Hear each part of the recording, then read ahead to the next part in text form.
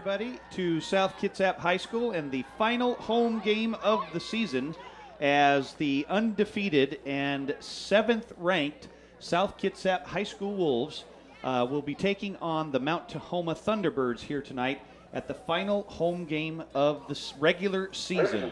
And uh, right now, uh, the NJROTC here at South Kitsap High School will be presenting the colors for the of our national anthem.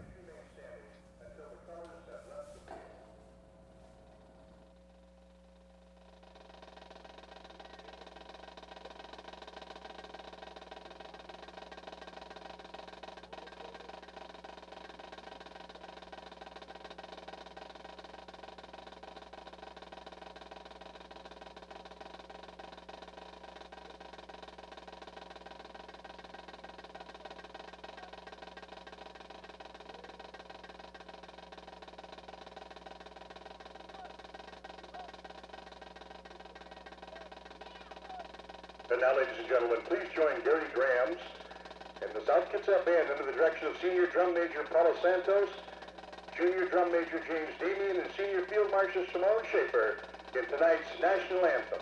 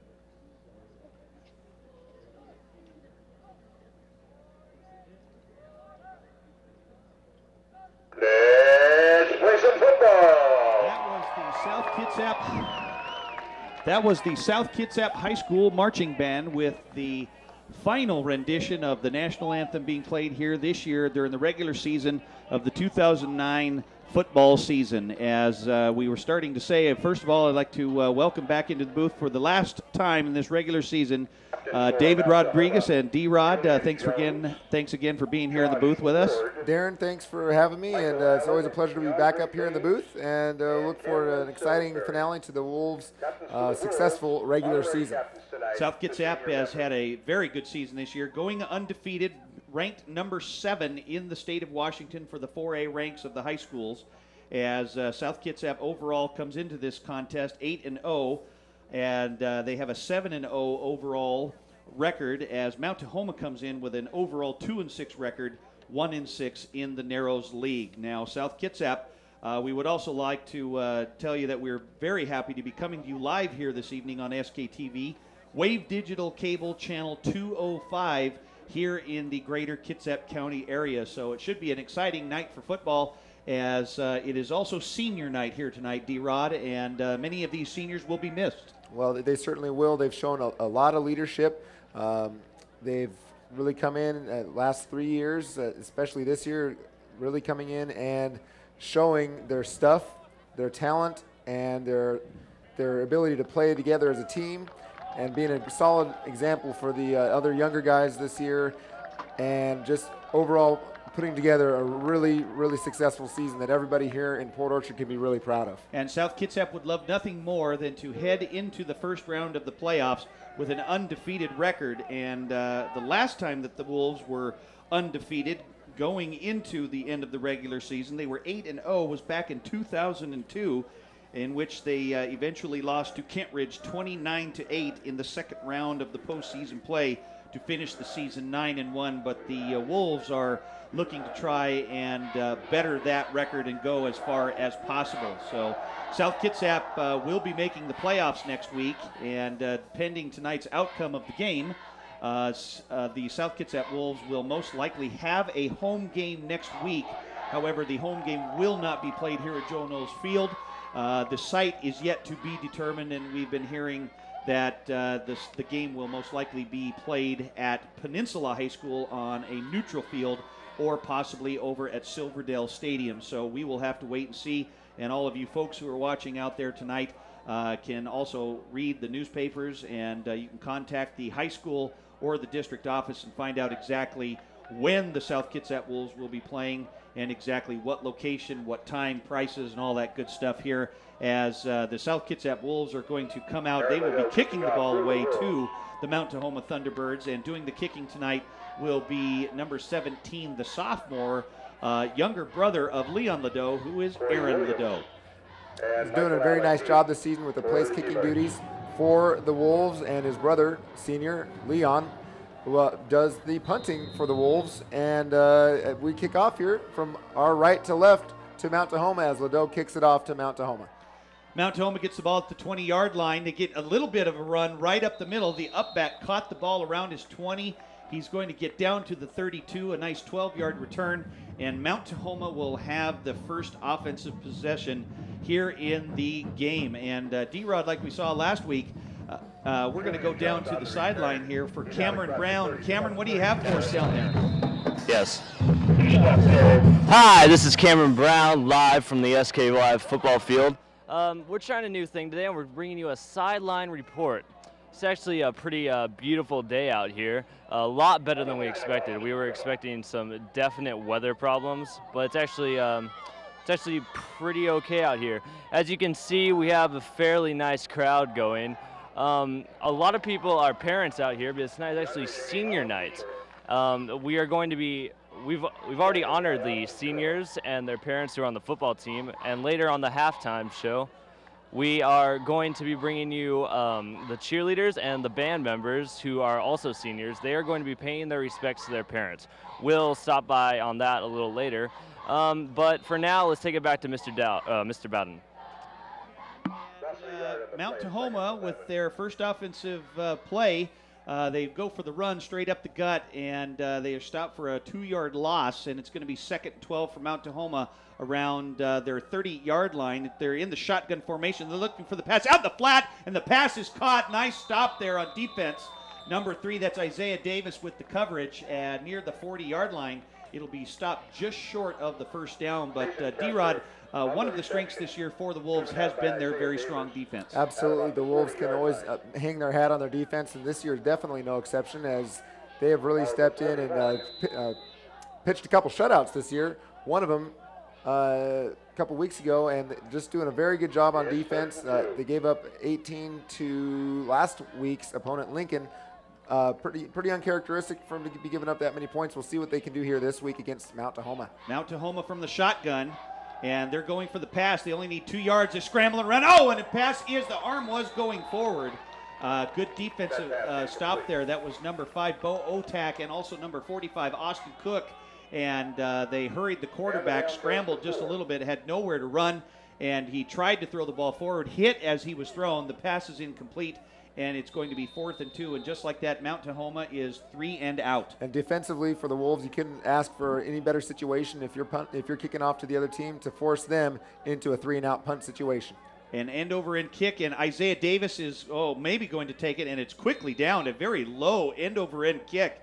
Uh, Isaiah Davis uh, was back to receive the punt along with DeAndre Van Slyke, but uh, number one for the Mount Tahoma Thunderbirds was quickly back there to catch the ball and stop it just like that. So no return, and South Kitsap will have a first down at their own 28 yard line. So we will see what the Wolves come out here on offense doing first. That was an impressive uh, special teams play from Mount Tahoma as they, on the first or second bounce there, managed to down the ball at the 28 yard line, uh, not giving the Wolves a chance to return the ball.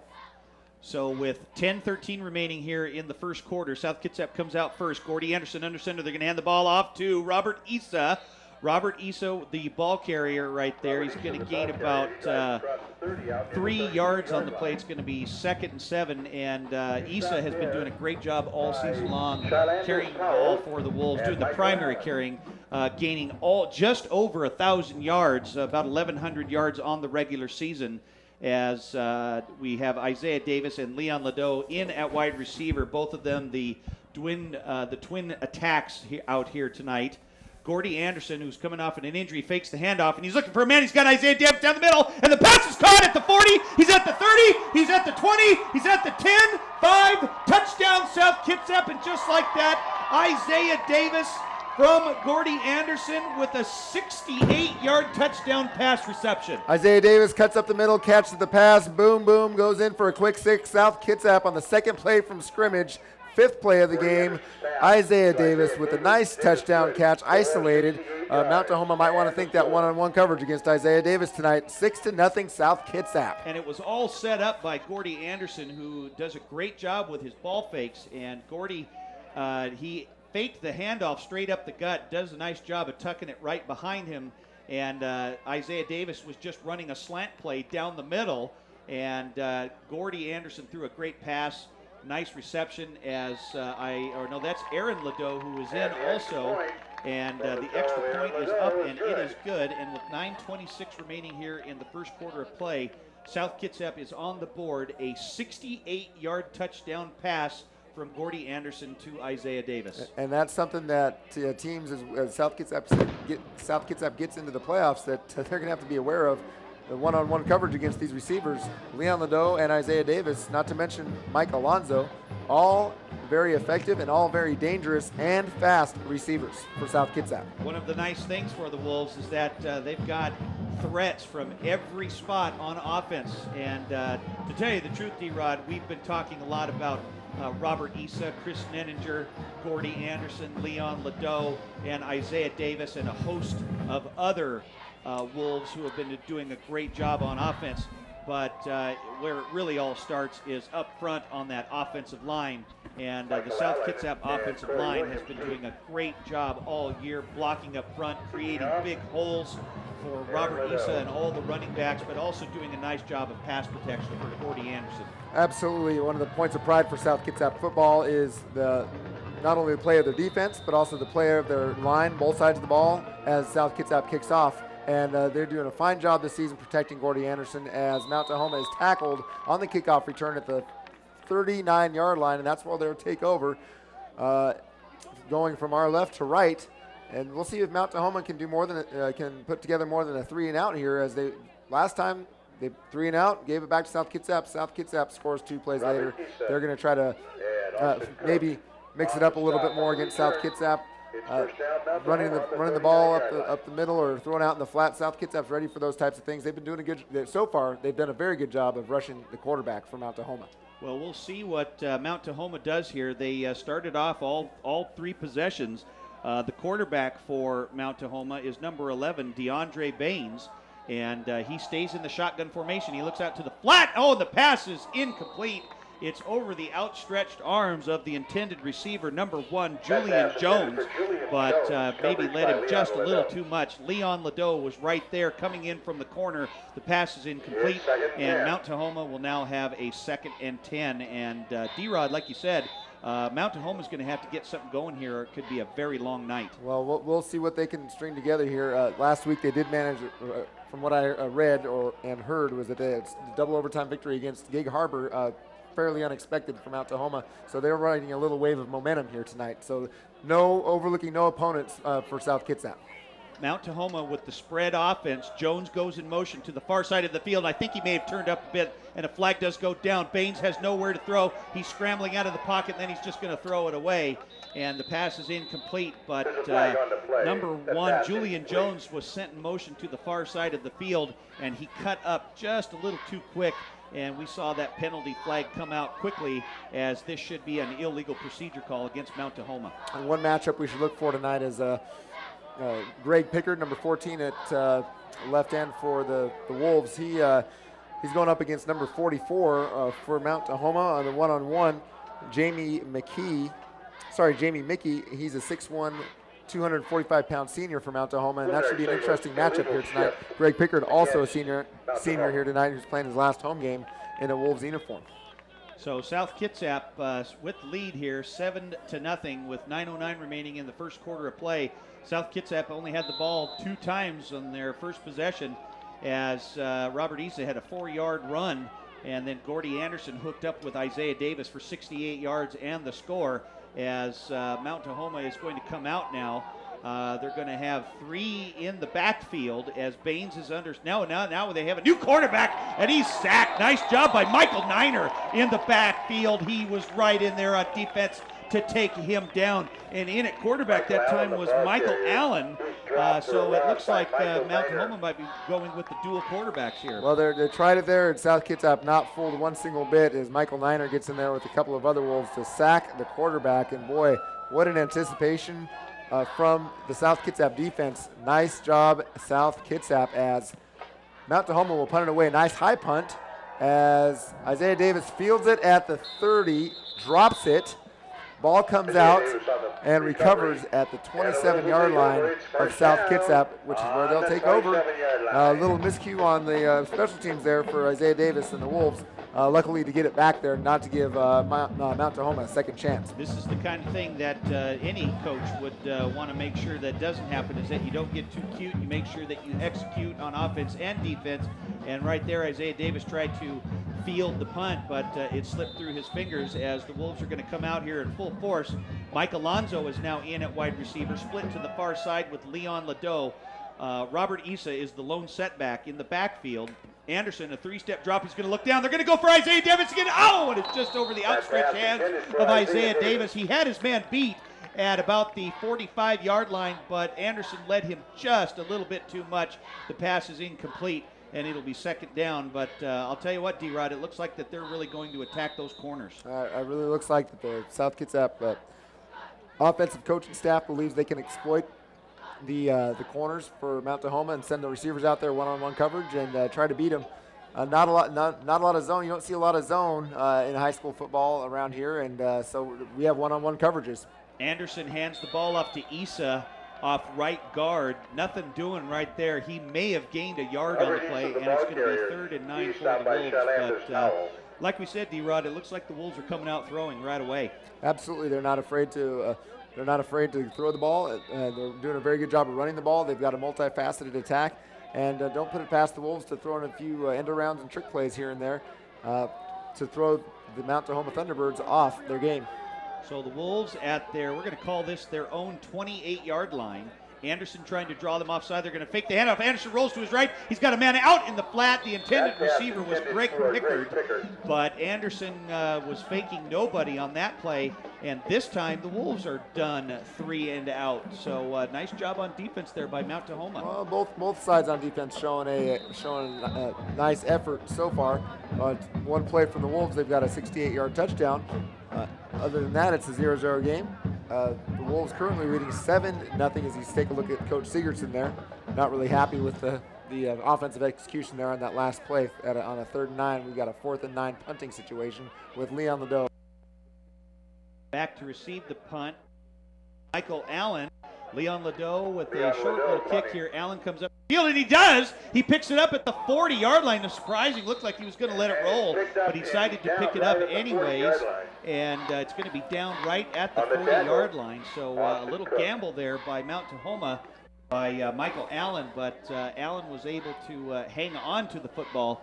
And uh, it will be a first and 10 for Mount Tahoma at the 40 yard line. But Mount is going to have some pretty good field position again right here. Well, odds are Mount is going to be able to string together a good offensive series here. The first two series not so great. Uh, I imagine that they're going to actually be able to do something here, and uh, it's up to the Wolves to decide if they're going to if they're going to play, which they've been doing a very good job of so far. And they're they are going to be uh, challenged here, I bet, by Mount Tahoma's offense. A little high snap, Baines. He's looking to his right, rolls out of the pocket. He's looking for a man, stops, looks back to his left. He's got a man down the middle, and the pass is incomplete. Nice defense there by Robert Issa around the 45 yard line. Great job by Issa there covering the pass. Jones, the, The intended intended receiver, receiver was Julian Jones Robert coming Eason. across, and uh, the pass was incomplete though. But a nice little, nice defensive stop there.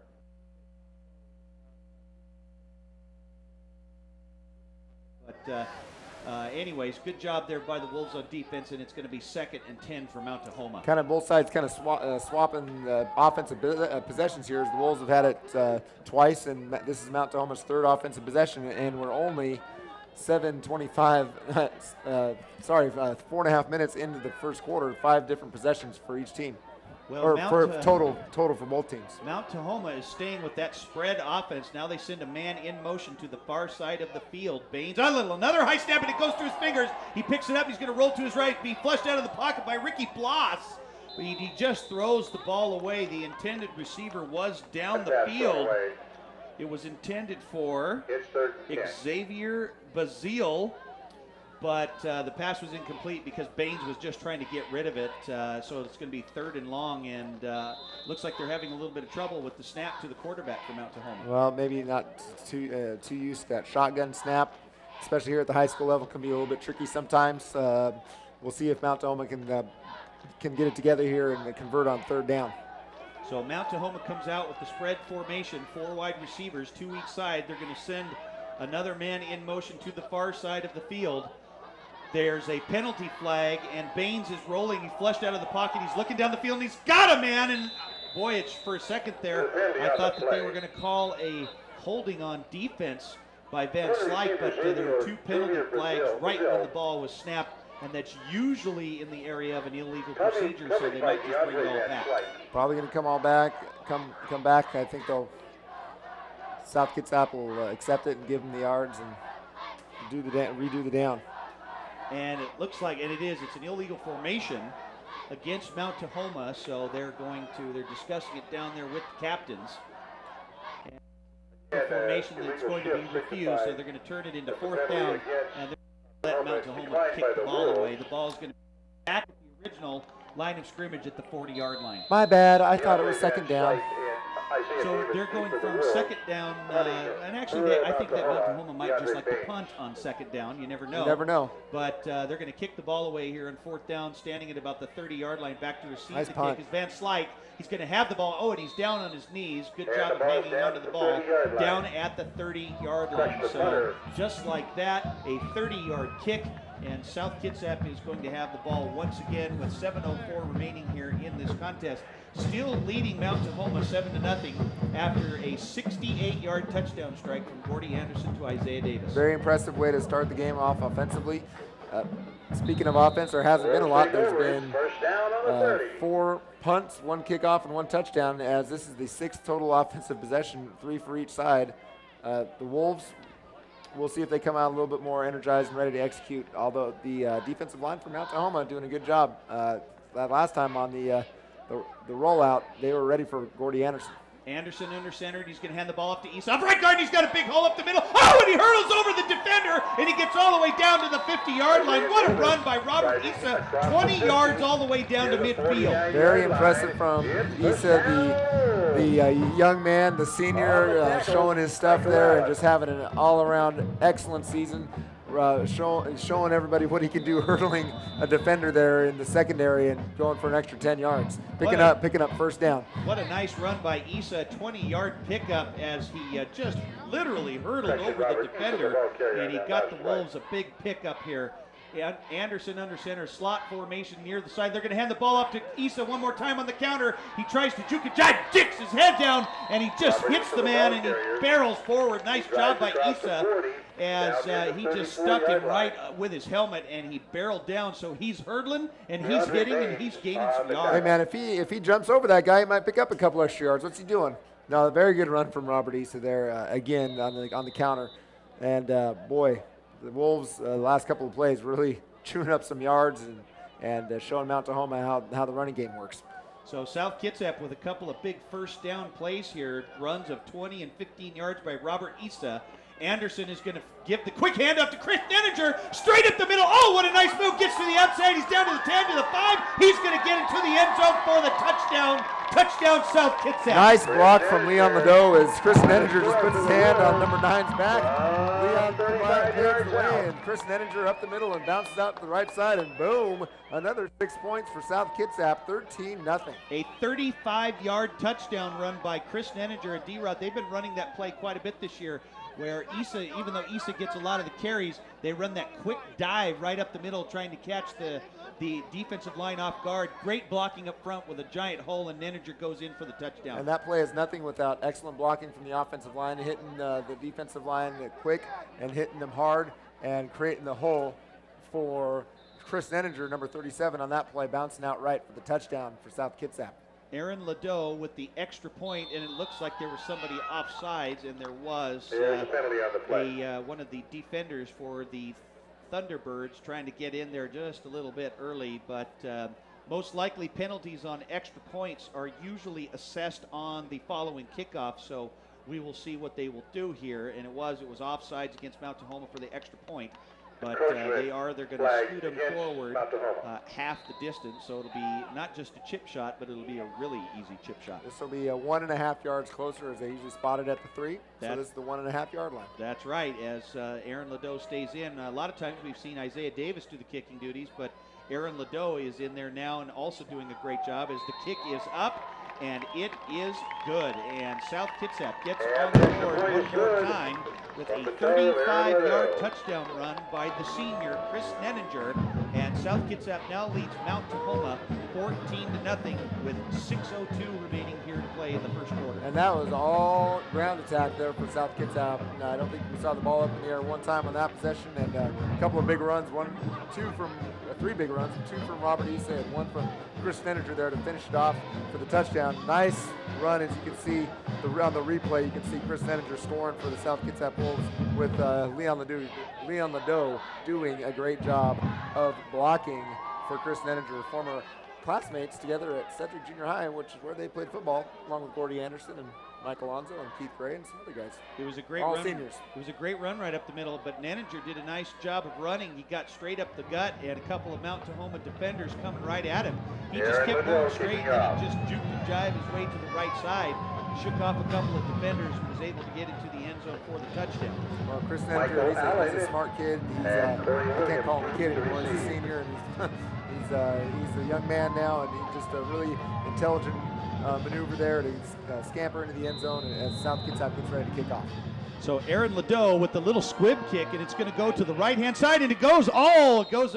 The interesting thing was that the the ball has to go 10 yards. We'll see where they spot it. It's actually going to be spotted inside the 40 yard line. So uh, Mount Tahoma would have gotten the ball no matter what. First down, uh, in, a- in a way because the ball has to go 10 yards uh, before it is touched and in order for South Kitsap to get the ball. I don't think they were going for an onside kick. They were just trying to do a little short squib kick. Well, if, if South Kitsap uh, keeping Mount Tahoma on their toes there with the uh, special teams kicking game, uh, maybe Mount Tahoma not ready for that. We certainly weren't, and uh, Mount Tahoma takes over on offense again. So they have the ball at just inside the 40-yard line. They're the first run of the game for no, about the second run of the game, I guess. And uh, they do they hand it Powell, off to the the ball running carrier. back uh, for Mount Tahoma, who doesn't by get a Isaiah whole lot. Davis Uh, we'll see that they at might the give him about 43-yard a line. yard. That is Jordan Davidson. Gain of Excuse me, that is uh, Number nine. That is number nine. Uh, we're trying to get a we're trying to get a player roster here. That's Charlandez Powell for the Mount Tahoma Thunderbirds. He gets maybe we're going to call it a very long one yard, and it's going to be second and nine for Mount Tahoma. Mount So- Tahoma usually going for the spread offense here, but it's a little tighter, D-Rod. Absolutely, they've uh, tightened up the package a little bit here, and they're uh, they're going back to the running game, looking like 23 ice off the right side there. And they are, and this time that was number eight. That was Jordan Davidson uh, with the carry as they have the uh, one lead blocker, two running backs, uh, getting a couple of big blockers up front. And uh, now we're starting to see a Shut in completely is different again, the ball carrier. Oklahoma He's to the hauled running down game. by Uh, I think Bo Mount Tahoma, Kotak. they, uh, And yeah, this is their fourth possession, no points to show Decker. for it, and they've got to mix it, mix it up a little bit. Otherwise, they look like they feel like they might get blown out here, and uh, they are uh, doing their best to keep the ball out of South Kitsap's hands at this point. I think is the, is the game strategy. Like you said, Mount Tahoma had some uh, had some momentum coming into this game with a, an incredible double overtime victory over Gig Harbor last week. And Baines is going to fake the handoff, and he rolls to his left, but the defense is right there for the DeAndre Wolves Baines to snuff him the out. He is very short of the close first down to the the 50-yard first line. down marker. It is going to be just Tackled there by inside. Leon We're looking Ledoux. right at midfield. But Mount Assisted. Tahoma only needs about one Assisted yard. by And uh, D-Rod, I can Shamari only imagine Burton. Mount Tahoma's probably going to go for it here. I would say that down 14 nothing in the first quarter, uh, that this is already four down territory, which you don't usually talk about till, towards until it's the uh, fourth quarter. But uh, their backs are already against the wall. They're down 14. It's fourth and only fourth and one, and they're going to go for it. I would do the same thing. So Mount Tahoma needs just one yard to get the first down. It's going to be fourth and short here. Is they're going to come out in that uh, power running formation. Baines under center. They're going to hand the ball off to the fullback, and he is met hard. That is Bo Otak up front. Also number 52 for the Wolves. A whole mess of Wolves. That was Ricky Bloss, and he knocked it back. Well, yeah, he knocked it back, but not before a very generous spot gives the down, Mount and it's Tahoma gonna be Thunderbirds first a down. first down on the play. It'll be first and 10. Mount Tahoma at the 49 and Yeah, three-quarter yard line.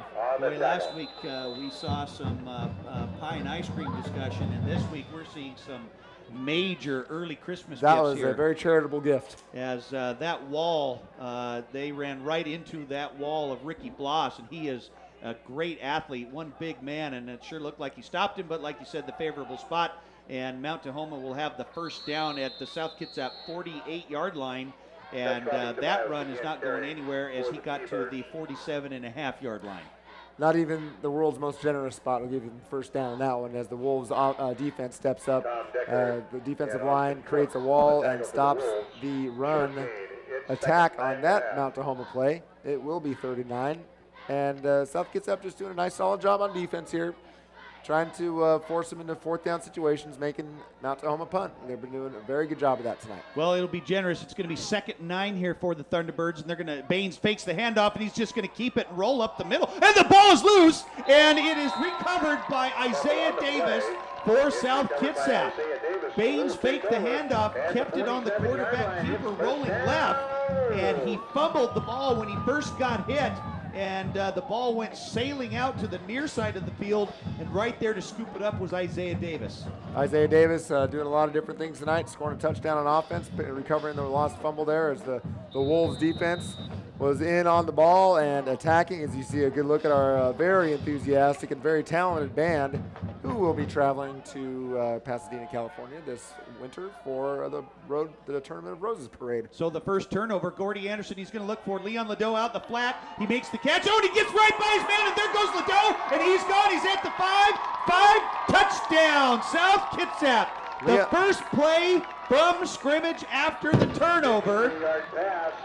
40-yard pass. Gordy It's going to be a 52-yard touchdown pass reception from Gordy Anderson to Leon Ledoux. Leon Ledoux really uh, showing his one-on-one moves there. Last week it was Isaiah Davis. Leon Ledoux showing a bit of his stuff, and actually earlier in the game, Robert Issa showing a couple of his thi- uh, a couple of his moves. Leon's turn now. That's 20 to nothing. South Kitsap here with 2:28 left in the first quarter. Nice catch and run from Leon. Once again, uh, all man-to-man coverage here uh, for Mount Tahoma's uh, defense. Is there just too many weapons for South Kitsap? South Kitsap, uh, this is actually par for the course for South Kitsap as they had come into uh, as we go to the kick, and it is up and it is good. Aaron Ledoux with the third Extra extra point point here tonight So as uh, South Kitsap now leads Mount Tahoma 21 to nothing. Oh, this is a nice pass play right there. Leon he made a little stutter step, and uh, he gets right by the defender, and he goes in for the touchdown. So South Kitsap now leads Mount Tahoma 21 to nothing here, as um, and we are still in the first quarter of play. And D-Rod, this, like we were saying earlier, this is par for the course because South Kitsap comes into tonight's contest averaging almost 30 points a game. Yeah, and so far they've already uh, they're two thirds of the way to that uh, that margin. Is they've got 21 uh, early points up on the board here. It's been uh, pass, run, pass for touchdowns, and spreading it around. Uh, many different guys touching the ball, uh, three different guys scoring. That's one thing about South Kitsap is it's not just two guys. It's it's the entire offense that really makes makes that scoring machine go. And this year, it's just really been a pleasure to watch them do their thing and and just simply attack other teams and exploit uh, exploit weaknesses. And boy, they just really doing a good job. Great job from the South Kitsap coaching staff. 21 nothing South Kitsap. Not even done with the first quarter yet. Uh, quarter yet. So this game is not over. South Kitsap kicks off again to Mount Tahoma. Aaron Ladeau with the quick kick. It was touched by a Mount Tahoma up man, but uh, it was recovered by Michael Allen down near the 25 yard line. Allen, nice job of just falling on the ball, not trying to get cute, create another turnover, but a uh, couple of just nothing but big plays here tonight. The first score came uh, Gordy Anderson hooked up with Isaiah Davis for 68 yards in the score on their on another offensive possession. Chris Nenninger runs 35 yards, and we just saw the 52-yard touchdown pass play and reception from Gordy Anderson to Leon Ladeau. Gordy Anderson having a big night tonight, his second touchdown. Leon Ladeau's first touchdown. Some big numbers for the South Kitsap Wolves off offense thus far here tonight. A Thursday night, uncharacteristic, but here we are, Thursday night football with South Kitsap. So Mount Tahoma will have the ball. Baines is going to hand the ball to the running back. He bounces to the outside. Nice job. Isaiah Davis is right there to snuff him out. But uh, not until uh, the running back for the Thunderbirds gets the first or gets close to the first down. Nice pickup there of about seven, eight yards. As uh, that is Junior Angosia, who is uh, who picked up the uh, the uh, offense, we're trying to get some uh, tallies here for everybody and getting a few numbers here. But uh, it's going to be second and three for Mount Tahoma. Well, we're going to call it at their near their 35 yard line. Mount Tahoma is now spreading it out just a little bit, still in that running formation with the power backs. Baines is going to hand the ball off to the tailback. They run to the near side of the field. Nothing doing right there. I don't know if he did get it. I think that he did. Uh, looking where he did, uh, looking where they spotted the ball, and uh, he will have the first down. So, and I believe that's Mount Tahoma is only their second first down tonight uh, on the ground game. I, I, I, agree with you there, and uh, South Kitsap's defense doing a great job. But also to pick up that first down, Mount Tahoma's offense there on, on the right side for for their offense did a great job of blocking, creating a, a hole big enough for their man to pick up a first down. It is first and 10, Mount Tahoma. Mount Tahoma with the first down, uh, driving near midfield. Oh, and he's taken back in the backfield. Nice job by the South Kitsap defenders there. A whole flock of wolves right back there that uh, were in there. Oh, and there was there was a turnover. There was a turnover. I saw a couple of players come up pointing in the direction and uh, Robert Issa came out of that pile there. He plays both ways, offense and defense. He comes out, and sure enough, there was a turnover. South gets that ball. I thought I saw a flag. It was a uh, it was a turnover marker for the, the officials, and once again, South Kitsap recovers the ball here at the Mount Tahoma about the 32 yard line as Gordy, I believe it's going to be Gordy Anderson, and the Wolves come back out for the attack on the Wolves offense. This is not what the Mount Tahoma coaches were thinking of before they came out for the game tonight. Especially uh, trailing 21 to nothing with a minute 12 left here in the first quarter of play. But we do have a stoppage of play as there's going to be a timeout by Mount Tahoma. But uh, like we were saying earlier, D Rod, you know, the Wolves are coming out here showing that potent offense that they've had. They struggled a little bit earlier this year. Uh, it took a little criticism, too, for not putting up a whole lot of points on the board. But you know what? Um, no one's really going to be listening to criticism when you're winning ball games. A W is a W, and I uh, commend, we both commend uh, the South Kitsap Wolves football coaching staff for doing such a great job this year. Uh, special teams, offense, defense, on the field, off the field, these uh, they, they really are training these young men to be uh, solid citizens, uh, both on and off the field, doing a great job. They, it's, all, it's all business when they when they're playing, but they I've noticed that towards the end of games they're helping guys up. Even through this undefeated season, there's no there's no taunting, no nothing like that. I don't think the Wolves coaches would put up for it, and I just like seeing the sportsmanship uh, put forth by these Wolves players. Plus, the Wolves are, have been battling injury all season long, and it looks like they're relatively healthy now. As Anderson's going to fake the handoff, he's going to go down. He's got Leon Ladeau in stride, and he hits him for the touchdown. And just like that, South Kitsap gets on the board one more time. A 32 yard touchdown pass from Gordy Anderson, his third of the night, to Leon Ladeau, his second touchdown of the night. Now I didn't see his route, but I'm guessing this. I'm, I'm guessing that he faked in and left his guy hanging and sprinted sprinted up the middle. And boy, I'm, nice, nice, uh, nice fake route. I'm guessing from Leon as he probably faked his hands back in towards the quarterback, about five, ten yards up the route, and then sprinted up up the middle of the field, wide open for a touchdown. It's 27 nothing as Aaron Ladeau lines up for the extra point kick. South Kitsap with another score here tonight, making looking to make it 28 to nothing, and it will be as the kick is up and good. Here's the replay on that last touchdown pass. Ladeau with on the far side of the field. You'll see the play right here as he barrels down and he's going to make a nice little move and he cuts inside. The defender looked like he kind of stumbled, lost his change, changed as he was trying to change direction. Anderson throws a really nice ball, and Ladeau was right there to make the catch. Anderson, Anderson is not going to miss that that throw. He's not going to overthrow anybody. He's a very accurate quarterback.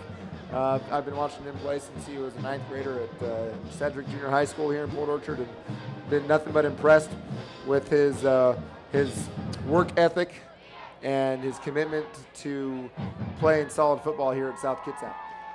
So Gordy Anderson having a big night here on offense for the Wolves. Once again, uh, the team leader, one of the team leaders for the Wolves, a senior, as uh, he just threw his third touchdown pass of the night to uh, Leon Ladeau, who now has two touchdowns. We also saw touchdown scores for Isaiah Davis and for Chris Nenninger. So it's uh, being spread out all over the place. One run, three pass, and uh, D-Rod, that just kind of shows uh, the capabilities that the Wolves had to attack you at every angle. Absolutely, and I know there's going to be teams that are going to be scouting the Wolves here tonight uh, next week, uh, seeing the, teams that are possibly going to be playing the Wolves. I certainly wouldn't want to play South Kitsap right now.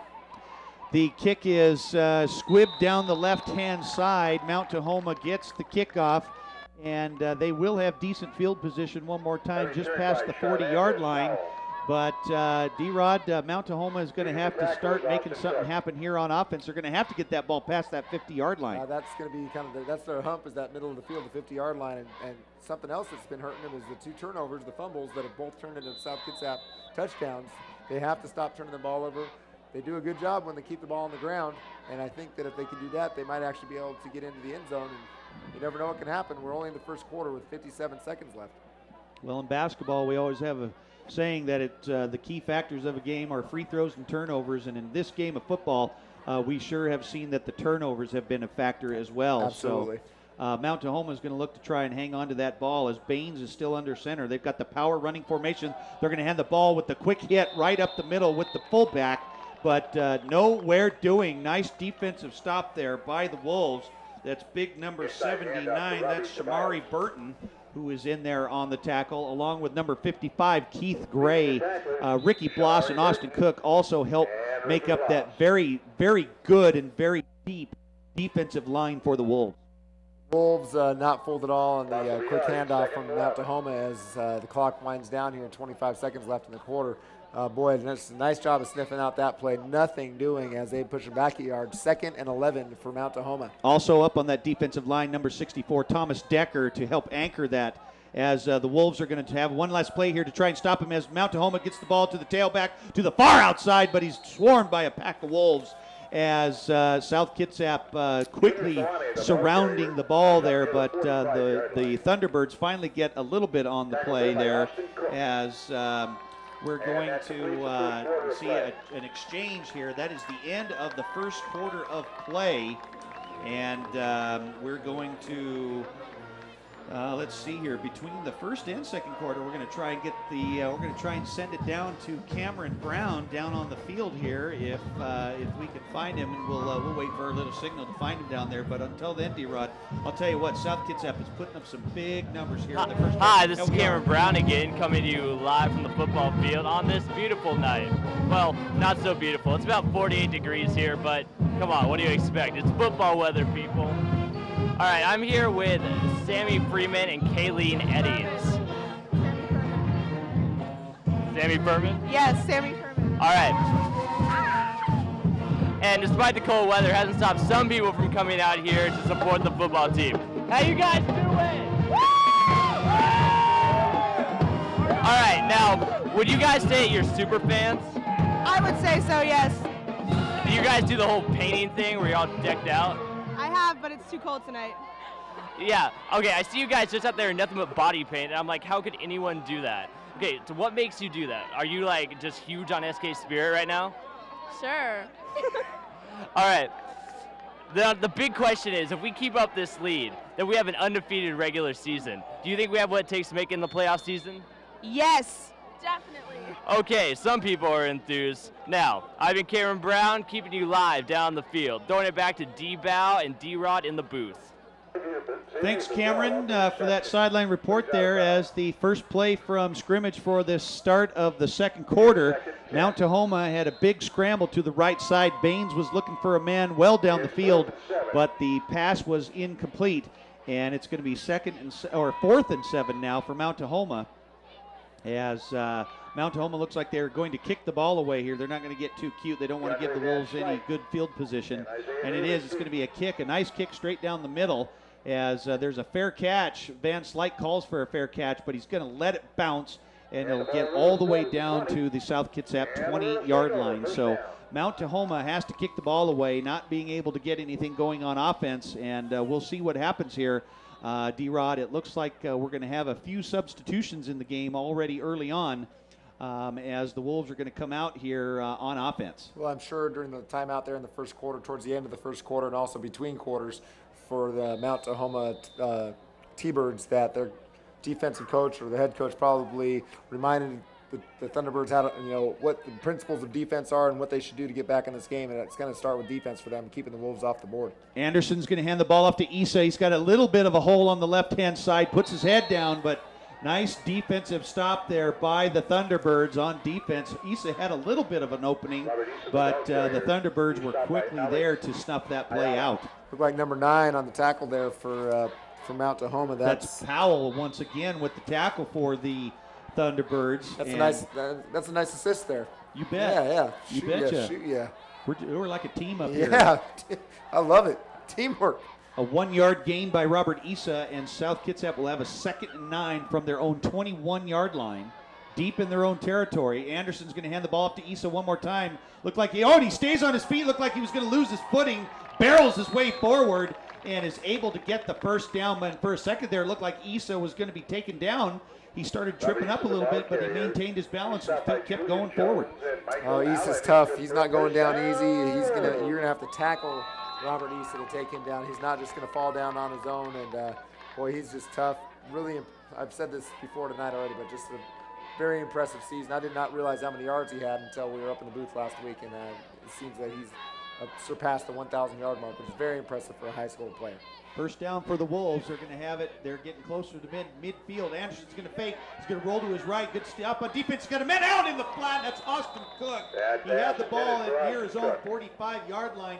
Just a little bit high on the pass, but still nonetheless very catchable.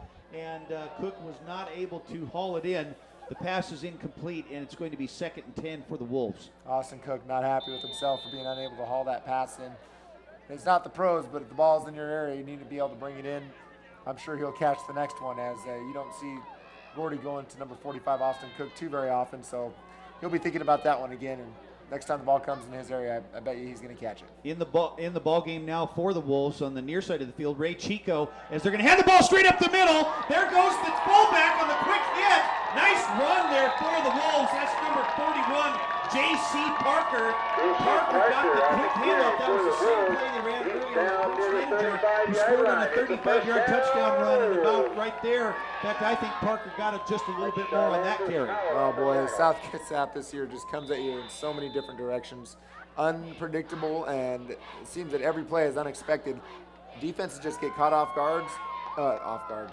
They get caught off guard. They, they're not really sure how to, to deal with what South Kitsap is throwing at them. Very difficult to adjust to what South Kitsap does on offense. So the Wolves in business deep into Mount Tahoma territory. The ball is at the Mount Tahoma 35 yard line. They're going to hand the ball off to Justin Anderson one more time. He's going to juke and jive his way forward, and he just keeps those legs driving. Nice job by Jordan Anderson. And uh, he was able to get a gain of about, oh, about 12, we're going to call it 13 yards on the play. He gets all the way down to the Mount Tahoma 22 yard line. Wow, just a offensive clinic so far here from the South Kitsap Wolves is their running attack is really in sync. Not to mention the passing attack, and it's uh, looking looking like tough times right now for Mount Tahoma as South Kitsap's got a first down on the Mount Tahoma 22-yard line. Gordy Anderson under center. Oh, and it looks like that they were going to go off sides there for just a second, but they didn't call it. Anderson's got a man out in the flat, and the ball is just a little bit high. The pass was intended for number 14, Greg Pickard, but it was incomplete, a little bit high on that one too. But again, D-Rod had hit him right in the hands. Yeah, Greg would like to have that one back and uh, going to the tight ends a little bit here uh, for South Kitsap as uh, they're usually sure-handed receivers. Greg Pickard, uh, we know, is coming off being ill for about a month and still probably not 100%. He'd like to have that one back. And earlier I said that uh, the running back was Justin Anderson, but it was really Jordan Anderson because D-Rod, that's our good friend Justin. Justin Anderson. Anderson, shout out. Yeah, big shout out for Justin, who uh, was one of our assistant basketball coaches, who is now back in Oklahoma City. Uh, Guarding they the coast. Guarding the coast. As the ball is fumbled!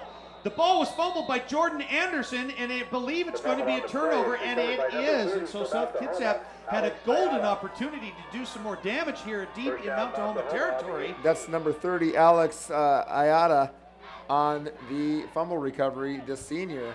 And he, uh, right time, right place.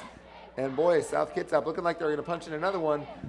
Not exactly what the South Kitsap coaches had in mind. The defense is going to have to dig in here and get that ball back. Anderson had the carry. He's been doing a great job actually coming in all year when he does come in the game, but that time he fumbled the ball, and Ayada was right there, and he said, Ayada, pick up the ball and just recover it. Absolutely, and a rare offensive miscue for South Kitsap on that play. So the first turnover for the Wolves here with 9.09 remaining, still leading 28 nothing. Baines, he's going for it all. He's got a man down the sideline. Oh, and it's just off the fingertips of the intended receiver. Nice job. That was Xavier Bazile who had he, he was he was in stride, and uh, it was still actually good coverage there by the Wolves. Oh, and uh, looked like Bazile was able to get his fingertips on it, but just a little bit too far. The pass is incomplete, and it'll be second down for Mount Tahoma. Uh, we're placing that ball at their own 18-yard line. That's number 39, DeAndre Van Slyke there on the coverage, doing a good job of covering. But, uh, you know, Mount Tahoma's saying, hey, you can throw the ball, we can throw the ball. And they're, you know, testing out their sea legs with the passing game right now. Bazil and Josh Trailer are the wide receivers for Mount Tahoma as they come out in the power running formation. Baines drops back, looks to his right. He's got Bazil, who tried to stop and cut back to the ball, but he slipped, did uh, li- did a little hurdle stretch there on the ground almost. Well, the this- pass was incomplete, and this it'll be is- third down for Mount Tahoma. This field is pretty muddy, pretty slick. Uh, it's been raining quite a bit here. We've been pretty lucky the last two weeks. It's rained all day or all day the day before or both. And by the time we get up here to the booth, the rain stops. So that's good for everybody involved as, you know, the traction on the field gets a lot more slippery. When it rains, it's nice that it let up. The field is still muddy and slick. especially here tonight when the uh, weather forecast was predicting uh, heavy rain here tonight, but uh, they couldn't have been blessed with better weather. Weather as uh, Mount Tahoma is going to have a third and 10 from their 18. Baines drops straight back. He's got a man, and he looked like he was going in motion, and they are. They're going to call it an incomplete pass. Baines was hit by Austin Cook in his throwing motion, but boy, was that close to being a fumble. And boy, did he get hit hard by Austin Cook coming around that right corner. And Austin doing a great job of getting to the ball before it could be uh, completed for a pass. Nice job, South Kitsap defense. And uh, uh, just as the doctor ordered, uh, three and out from Mount Tahoma, they really opened up the passing game on, on that possession. And they're going to punt to South Kitsap. Give it right back to him. Mount Tahoma with the punt, and it's going to be a short end over and kick down the middle, and it is fielded by Van Slyke. He let the ball bounce, didn't look like he was going to take it, but he finally did. A little bit of a dangerous uh, gamble right there, but it paid off once again. Yeah. And uh, I'll tell you, D-Rod, though, South Kitsap was driving, and uh, they had a turnover. They fumbled the ball, but uh, Mount Tahoma just couldn't get anything going off the turnover. Well, that, that was an opportunity for Mount Tahoma, even though they didn't have very good field position. They got the ball back on a uh, turnover. They tried to go for a big strike up the right sideline, which, if successful, they would have picked up uh, a big chunk of yards, if not a touchdown.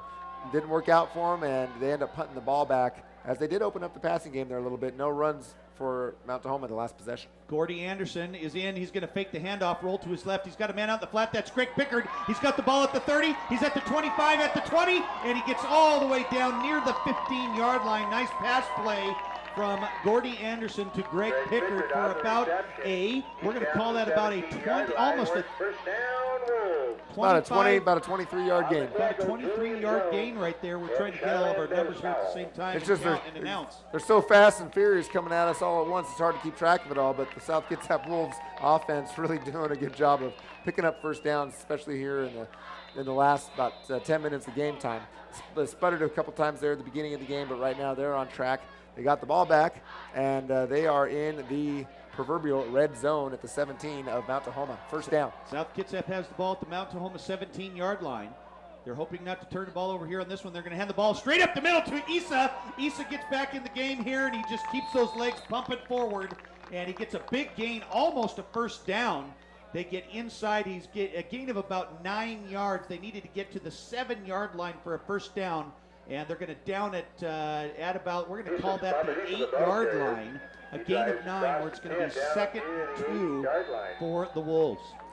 Well, the, the Wolves looking in prime condition again here to pick up another score, if not a touchdown, at least a field goal. And it's second and two, as you just said, DB, and the Wolves lining up with two wideouts against Mount Tahoma. Anderson's going to give the ball to Justin, to Jordan Anderson one more time. I keep saying Justin because I'm so used to Coach Anderson, but that's Jordan Anderson Jordan Anderson, doing a nice job there. This time he hangs on to the ball. It gets a little bit closer to that first down. As uh, Jordan was able to get closer, uh, we'll give it a, uh, a, we'll give him one on the play, but still going to be third and short, third and one for the Wolves. Uh, place that ball at the Mount Tahoma eight-yard line. See if Mount Tahoma's defense here can step up and keep the Wolves out of the end zone.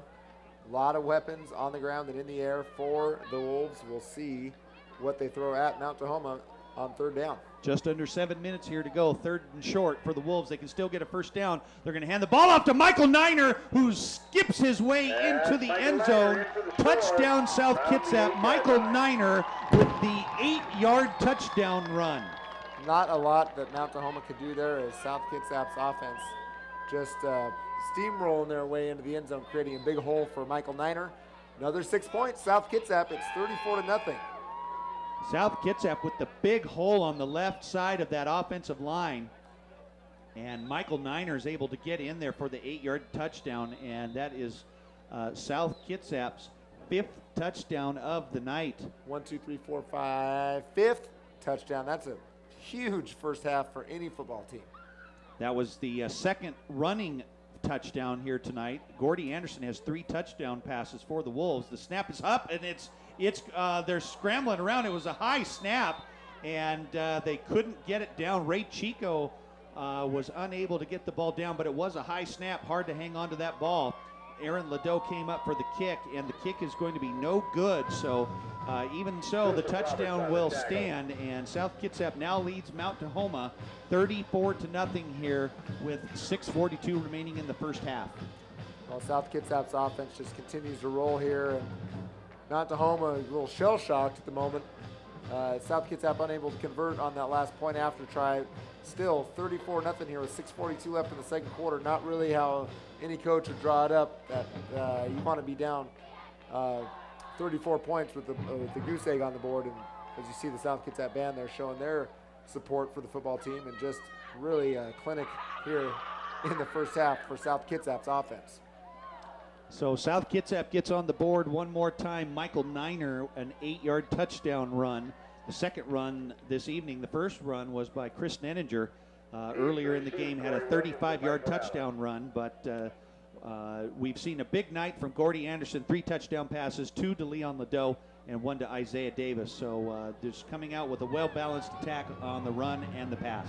Well, you can say that you've got five touchdowns midway through the second quarter, and uh, four guys have scored for you uh, on touchdowns. That is that's huge.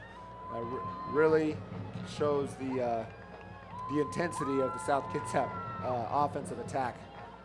Not letting up at all here tonight against Mount Tahoma. South Kitsap kicking off here one more time. It's going to be a squib kick to the far right side of the field. Nice job by Mount Tahoma to just fall on the ball. They will have the ball at their own 35 yard line. It was recovered there by number 81, Xavier Bazil.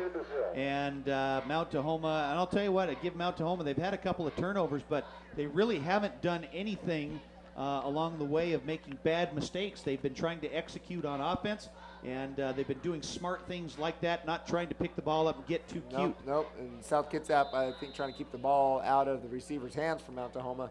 Don't want to make this a game and give them a chance to score a touchdown on a kickoff return. Mount Tahoma, like you said, DB, not really uh, doing too too much to hurt themselves, other than uh, not picking up first downs and turning the ball over twice. Other than that, they look they look okay. Baines under center. They're going to hand the ball off to the tailback, who is taken down in the backfield by Michael Niner. What a great tackle on defense by Niner, and they're going to give him about a four-yard loss on the run. Oh, number 40 for uh, for Mount Tahoma there. That's Josh Iverson. Looks like a, uh fullback, 5'10", 165 junior, not able to get enough momentum or leverage on or angle there to avoid. Is that Austin Cook or is that Michael Niner on the tackle? Michael Niner on the tackle, and uh, Niner, who's already queued up, keyed up from being scoring the last touchdown, gets in there on the tackle. So he does it on offense, scoring a touchdown, comes out on defense and gets the tackle for a big four-yard loss. Mount Tahoma will have a second 14 from their own 32-yard line. They stay in that power running game in the backfield. Baines is going to hand the ball off. He's almost tackled before he hands the ball off, but he does give the ball. Oh, what a big hit! Oh my goodness, coming in from the side. That was a huge hit on defense. That was number nine, Leon Ladeau, right there on defense. And I say this every game for South Kitsap, and I men- mention it right now. We've got uh, number five, Bo Otak, the senior, helping up the uh, the Mount Tahoma rusher there after the play. I love to see the sportsmanship, and it's not just me; it's the coaches and everybody in the community. Love seeing good sportsmanship when you're up or you're down, helping guys up off the field. Also in on that tackle was number six, Tanner Romo for the Wolves. So a lot of Wolves getting in here uh, for some playing time. The Thunderbirds, oh, they're going to have a quick quarterback keeper. Baines is hit, spins around, and he inches his way forward. He's going to be just short of the first down.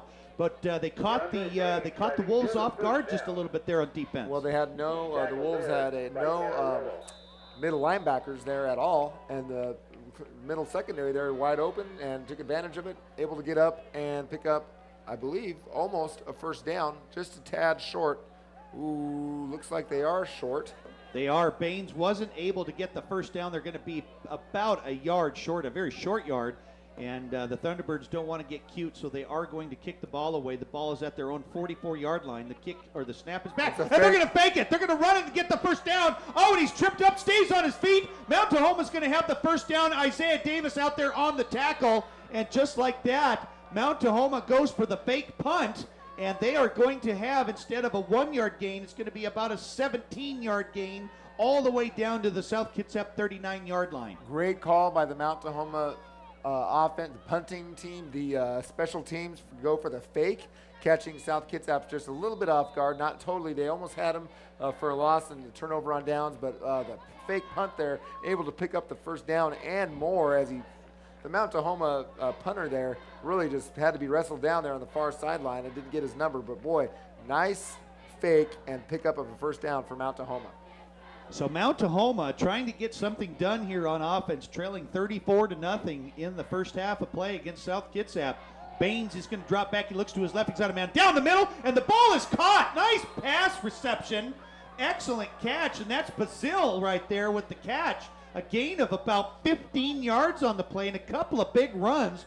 First the fake punt, and now the big 15-yard touchdown res- or the 15-yard catch from Bazil or Ca- Bazil made the catch from Baines. So nice job by the Thunderbirds here getting something going on offense. Well, a little alarm clock must have gone off in somebody's head here because the offense all of a sudden they they they are awake and they are kicking as they're trying to punch it in to the end zone as they are marching on South Kitsap's defense. Baines under center. Mount Tahoma trying to get on the board here before halftime. Baines is going to drop straight back, looking to his right. He's got Bazil one more time. He's got him in the end zone. He jumps up. Oh, and he catches it. Touchdown, Mount Tahoma. I do not know what to make of it. They're showing no life on offense essentially for the first uh, 20 minutes of this game, and all of a sudden, 18 minutes of this game, and all of a sudden, Mount Tahoma wakes up. This is why DJ Segerson and the coaching staff not afraid to put up, run up the score because you never know what can happen. We're only in the second quarter. It's 34 to six. South Kitsap over Mount Tahoma as Mount Tahoma just scores a touchdown off a fake punt, fourth and one, pick up 17 yards, two passing plays in a row, and touchdown Mount Tahoma. Just like that, Mount Tahoma gets on the board. That was Baines with the nice touchdown pass, a 25 yard touchdown pass reception. They're going to go for two, and they get the, and that is good.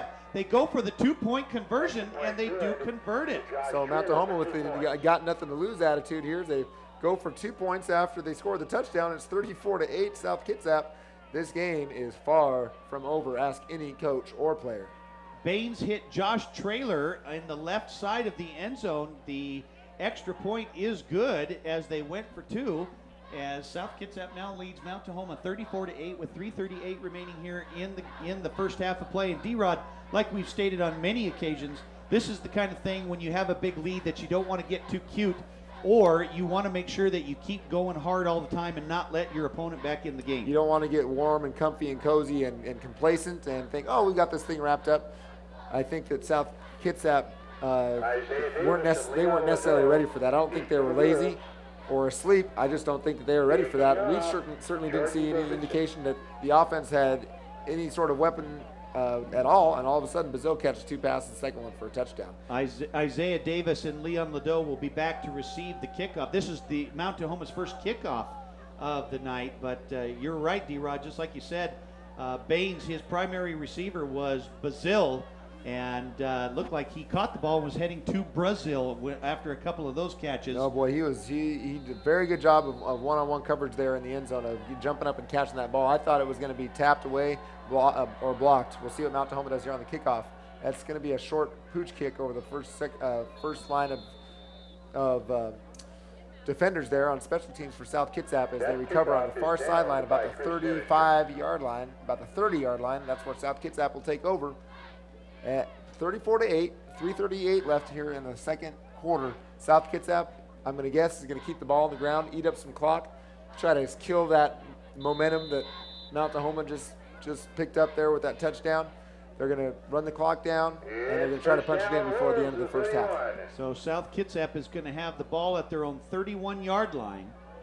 There is 3.38 remaining here in the first quarter of play, and I'll bet you South Kitsap just goes on the attack as J.C. Parker is now in at fullback for the Wolves. Slot formation to the near side of the field. Anderson is going to fake the handoff. He's going to look for a man out the flat, and that's Isaiah Davis with the nice catch all the way down to the 45 yard line where it'll be a first down. Anderson to Isaiah Davis once again. That's a dangerous uh, connection, a one two punch there. Uh, Anderson at quarterback and Davis at receiver. Davis is so fast and really has developed a good set of hands here with South Kitsap football. And boy, that's just really, really tough uh, to defend that as he just uh, crossing over the middle of the field. Ladeau and Davis are going to split to the far side of the field now. Ladeau in the slot, Isaiah Davis spread to the far side. They have to watch out. Two dangerous wide men on the far side of the field. Anderson's going to give the ball to Robert Issa on the little counter, and he's got a little stutter step, and he's taken down crosses midfield, gets all the way down to Mount Tahoma's 40 yard line. And D Rod, the Wolves are on the move. They are on the move. They're chewing up some clock, and they are slowly but surely marching towards uh, Mount Tahoma, um, Mount Tahoma's end zone is they're going to try to punch in another touchdown here before the end of the half. And uh, looking good once again. Not. Uh, I think we're a little surprised to see Mount Tahoma put up that last touchdown, and I don't think they made the the Wolves team or coaches feel very comfortable. I think they're going to really try to control the ball here. Nothing fancy, nothing special. Mike Alonzo and Ray Chico now in the game at wide receiver for the Wolves. Anderson under center. He's going to hand the fake, the handoff. He's got a man down the middle, and he's got him, and that's Greg Pickard. Nice defensive stop there by Mount Tahoma, though. That's Robert Donald, who came flying in from the side, and uh, he was able to knock the ball down as we have a man down on the play, and that looks like it's the quarterback, Gordy Anderson. Officials timeout. We'll see. Uh, we'll see if what happened with Gordy here. It looked like could Pending on the have got play, popped. Robert Uh, didn't really have any visibility. Mike Alonzo there open on the left side. He uh, had to rush that ball off. Got popped there as soon as he uh, released the ball. As Gordy Anderson hops up, uh, feeling a little bit of pain. Uh, it's good to see him up and moving. Anderson has uh, he battled injury earlier on this season. Uh, he missed a couple, two or three games earlier this season with a bad back, and uh, that's the kind of thing that uh, the South Kitsap coaches don't want to see. But they will definitely have their backup quarterback come into the game, and that is the junior number six, Tanner Romo, who's ready to step right in. Yeah, Gordy Anderson did uh, battle a little bit of injury. He comes off the field. He's tough. Uh, uh, Leon Ladeau, the first guy on the sideline there to make sure Gordy's okay. Romo filling in for Gordy Anderson at quarterback. Romo under center is going to hand the ball right up the middle, right up the gut to Michael Niner. He hurls over a man himself. Took a couple of lessons from Robert Issa earlier there in the first quarter, and he jumps up in joy as he gets a big gain of about 15 yards all the way down to the Mount Tahoma 23. Uh, these, these, these South Kitsap uh, tailbacks, running backs are sure fun to watch. You see uh, Michael Niner showing a lot of positive emotion there. Of just uh, keep those legs moving and pick up positive yardage uh, as they get past the line into the secondary, and just really fun to watch. These guys work so hard to pick up these tough yards. Really a joy to watch them. South Kitsap with the big first down play here. Michael Niner with a huge 15 yard run. Down at the 23 of Mount Tahoma, looking to get some points on the board. They're going to hand the ball off to Justin Jordan Anderson. See, D Rod, I said it again. Just call I- him coach. Just call him Just coach. call him coach, you bet. Coach because- Anderson. Because I'll tell you what, Jordan Anderson just coached Mount Tahoma right there off right tackle. Nice run by Jordan as uh, he gained about four yards on the play. It's going to be second and s- uh, we're going to call it three yards on the play. I bet Jordan Anderson's going to be talking to you tomorrow at school. He will be. He's going to come up to me with a couple of flashcards, uh, uh, one with Jordan and one with Justin, and he's going to have the name Justin crossed out. Jo- uh, Jordan Anderson doing a great job tonight. He South is doing a great job. The quick handoff straight up the middle, but nothing doing. South Mount Kitsap- Tahoma right there to stop it, and they may have gained one on the play. In fact, they're going to lose about a yard on the play. It's going to be third and long for the Wolves. South Kitsap just wants to keep the clock moving. If uh, Mount Tahoma calls some timeouts, stop the clock, they can go ahead and do that. But as we see Gordy Anderson come back in uh, for the Wolves on this third and seven situation. So Gordy Anderson comes back into the game, shaken up a little bit a couple of plays earlier, as Leon Ladeau and Isaiah Davis split to the far side of the field.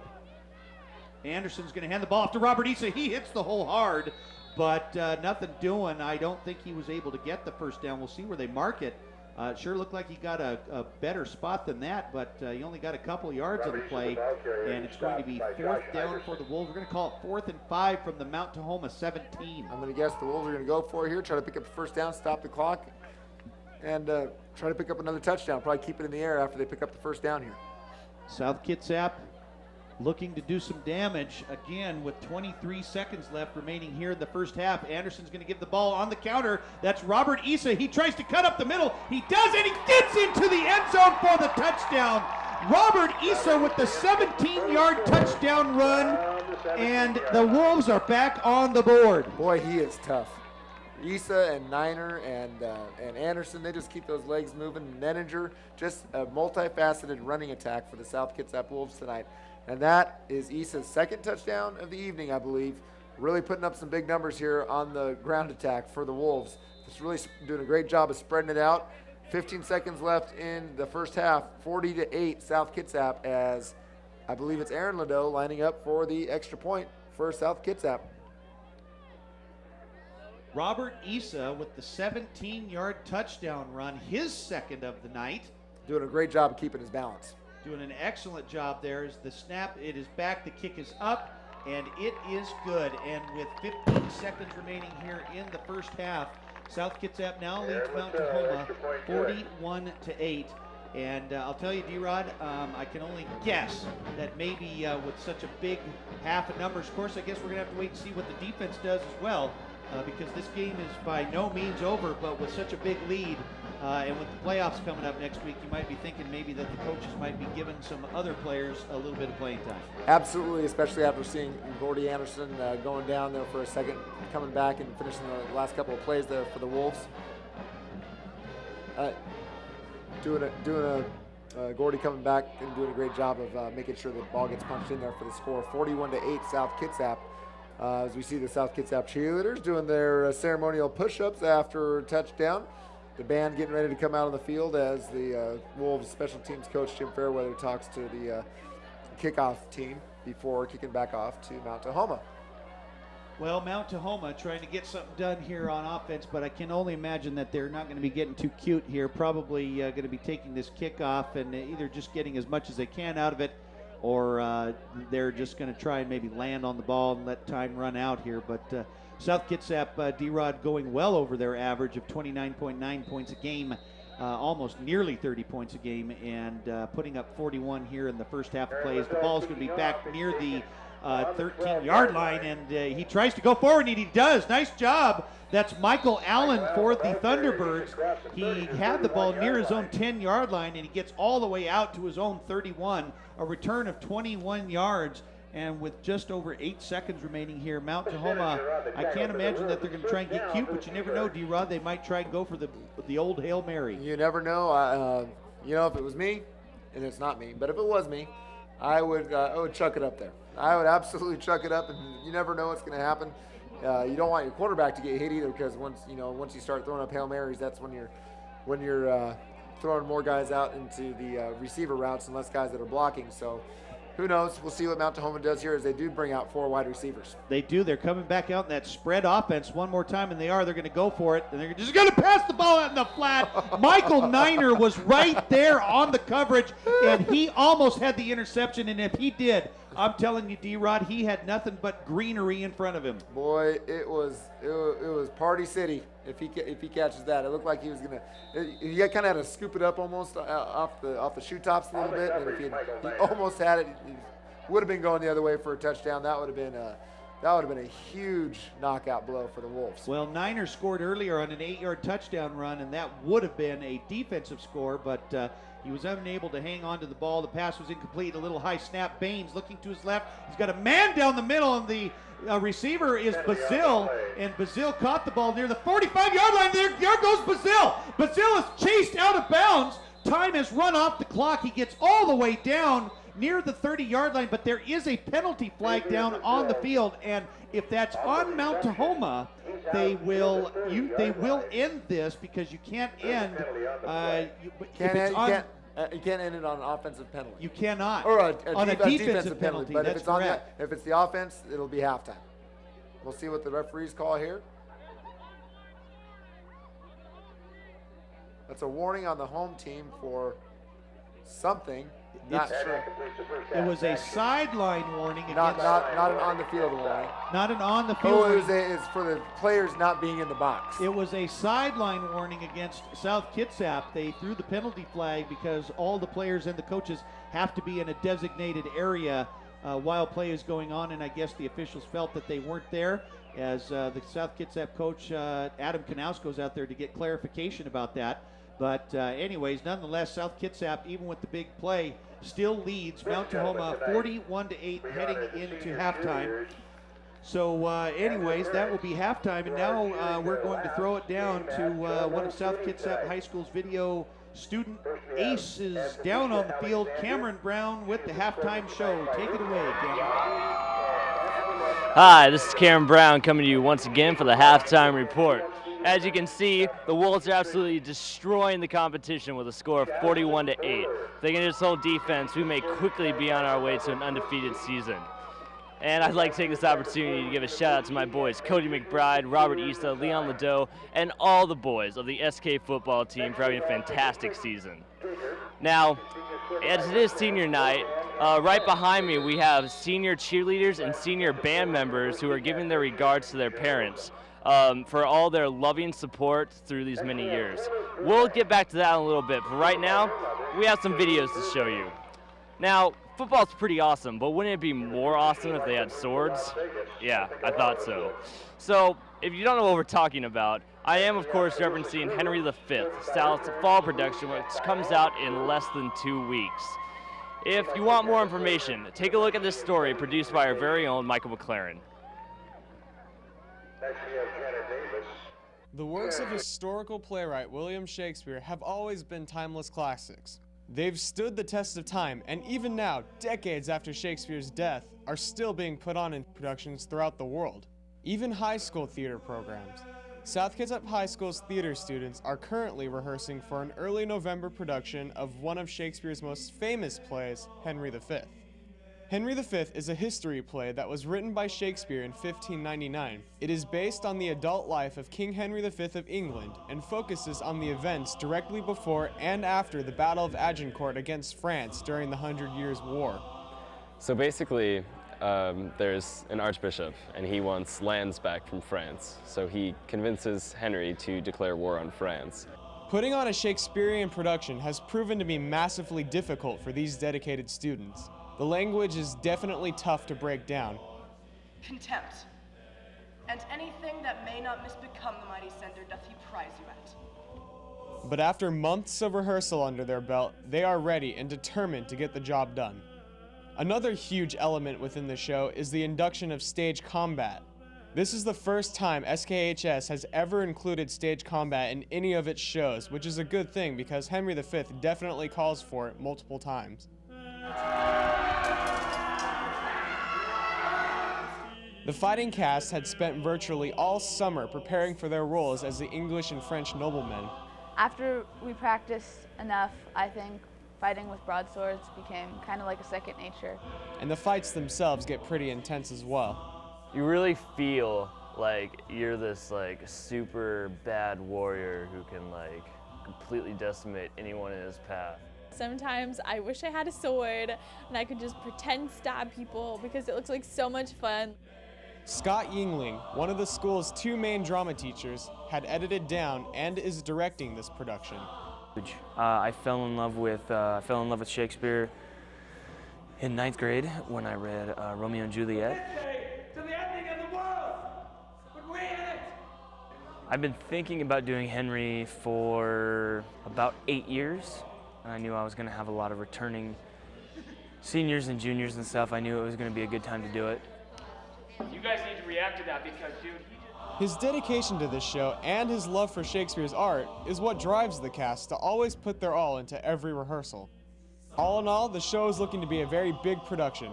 With a large cast, great acting, and a memorable storyline, this show is likely to become one of SKHS's best stage productions of all time. You can come see Henry V in the main theater at South Kitsap High School on the first and second weekends of November.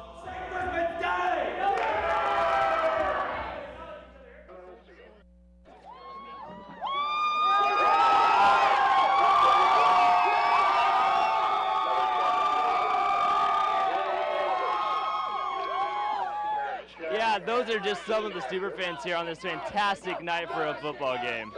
Um, as you can see, those are the parents of the senior cheerleaders who just passed by, giving their regards and a special ceremony to their loving daughters. Right behind us, the band is about to do a, uh, seems like a performance, uh, also for senior night. Ryan Clark, and Connie Clark, And um, it seems like they're about to begin.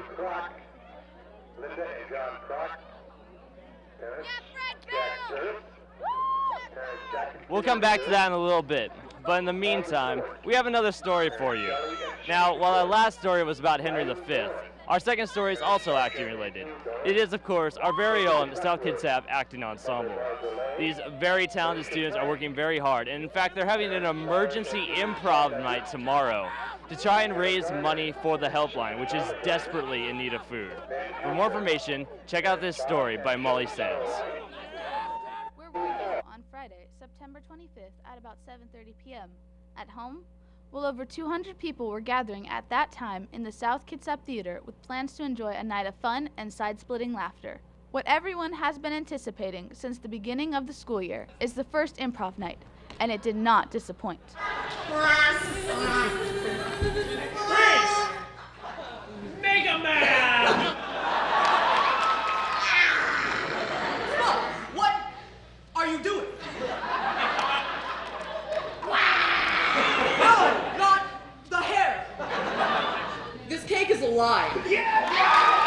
This year, we have a new cast of people in acting ensemble, and even in the first few weeks of school, they have shown their potential and skill.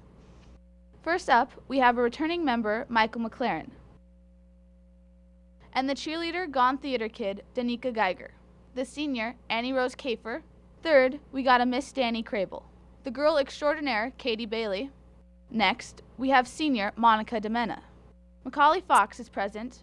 Brienne Hahn is rocking the scene. Chris Garland is on the improv team. Mr. Robert Lucy. We at Wolf Tracks got to sit down with Mr. Yingling and speak with him about the 2009 2010 ensemble. I think that they are a very mature group. I think that they uh, work extremely hard. Uh, they're a very close group. Um, I think this group, more than any, are very performance focused. And they like, a majority of them want to go into a performing arts school, so I think it helps out with what we do in class and um, you know, I really hope that they can take what they learn in my class and apply it to real life. Um, I want to be, uh, for them, I want them to be able to go to an audition for Cornish, Juilliard, NYU, uh, USC, um, you know, any of these big schools and be able to be like, dude, not only can we uh, do well, but we can hang with the best high school acting programs in the country. The hopes and expectations are high for Mr. Y as well as the student body for this year's ensemble. But the actors feel that they can all live up to everyone's standards. It seems that the theater has made its decision about acting ensemble, and it's good. Have you made yours? If not, come see acting ensemble next chance you get. This was a really bad time to go parachuting! All right, and I'd just like to clarify that, that emergency improv night, the admission is two cans of food, which of course will be donated directly to the helpline. It is at 7 o'clock tomorrow night. I hope to see you there. Now, as you can see, the band is introducing their senior parents and giving out various honors. Uh, pretty much the uh, seniors who are in the band are simultaneously introducing their parents and uh, pretty much just thanking them for all the hard work that they've done in raising them and supporting them in their high school lives. Now, uh, throwing you back to another story, you are, of course, watching SKTV Wave Cable Channel 205, but have you ever wondered what kind of work goes into making this production possible? Well, here to tell us what it's all about is Danae Hamill with an exclusive behind the scenes look at SKTV. You may have seen all the filmed events on SKTV, but you probably haven't seen what the SKHS video production puts into these events.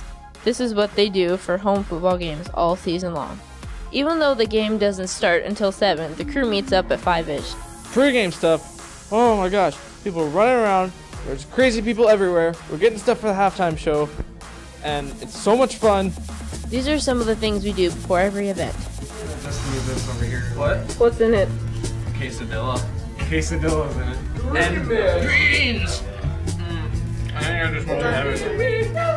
Galileo, Galileo! Galileo, big girl, magnifico! Okay, that's enough. The song is Scold. Thanks, you want me a soda? Oh, oh, and it's Pizza is provided by the school as the crew shows up. Please say that for us, okay? Finished, but cheese pizza is the best pizza of all time. Just saying. What? There's usually about a half an hour to hang out before Mr. Donovan's briefing. The briefing usually takes about five minutes, then it's time to get ready to work. You got to do it. You got to set everything up. You got to get ready, get organized. You got to be there for a good game. During events, there is no time to relax. Everyone is doing something. There are two people on the rear cameras, one on the field, and a director, a technical director, and an audio person in the control room. Each person rotates with another throughout the night. Every station comes with ups and downs, as always. You know, nothing, any like technical problem is never the end of the world. They're easily fixable. As the crowd files out of the stands, the crew stays behind to tear down the equipment, whether it be taking down cameras, coiling cables, or pushing carts. Everyone pitches in to make cleanup go as quick as possible. Since you've seen what goes on behind the scenes of the football games you love so much, you come to find a lot of work goes into filming them.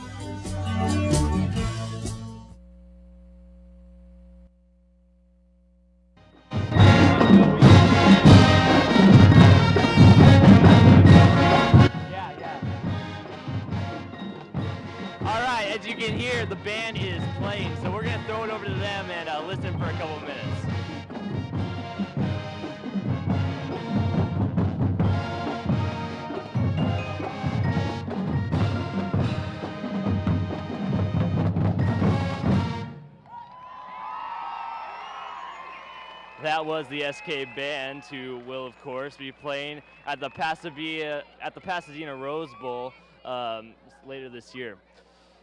Uh, later in the show, stay tuned, and I'll have an exclusive interview with Gary Grams, our band director, who is working frivolously to raise funds for this exclusive trip. Now, throwing it over to uh, one more story. We have Carissa Cruz talking about the prom closet, which is supplying, of course, dresses for the prom. For more information, take a look at this.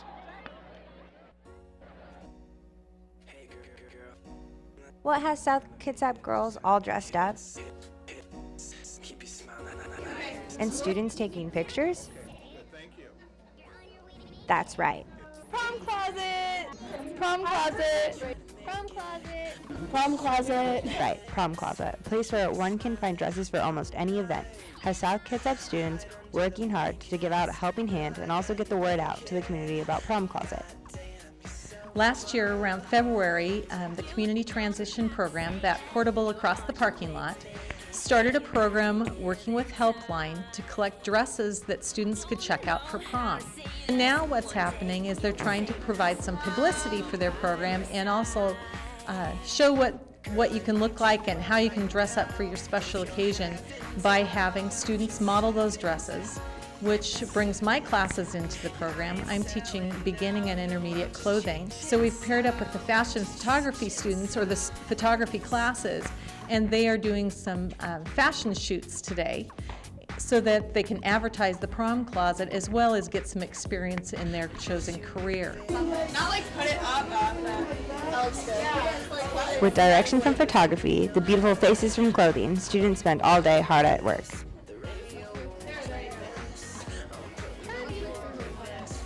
Hi, I'm Brandy. Hi, I'm Tasha. And we're modeling dresses for Prom Closet.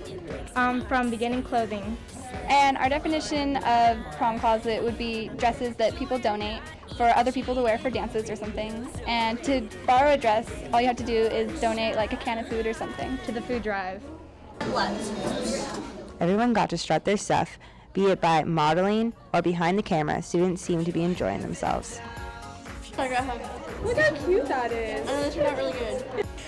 Um, I think it's fun because it's out of our range of what we've been doing for the past like three weeks. All we've been doing is uh, different projects, and this is out of our range. So I think it's really fun to just go out and do different things. And to be able to do something like this for the community and help out people who need stuff like this is quite a good experience as well.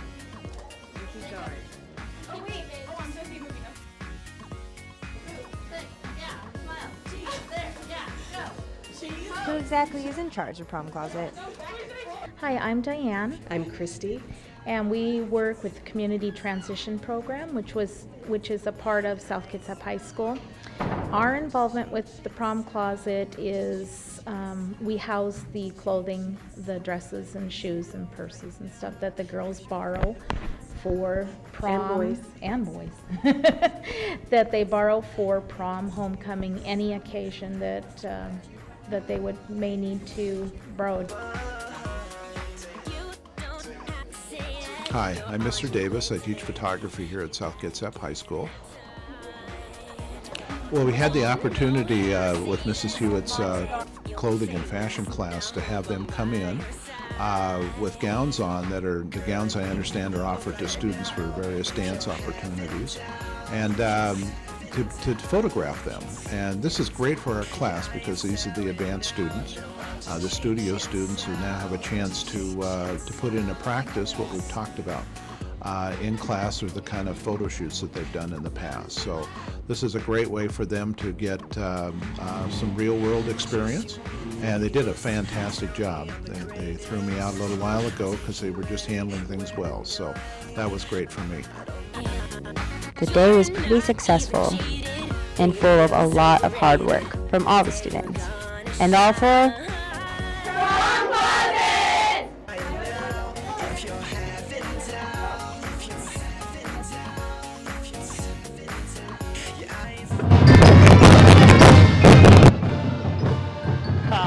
that was the last of the stories we have for you. Remember, TV program here at South Kids South.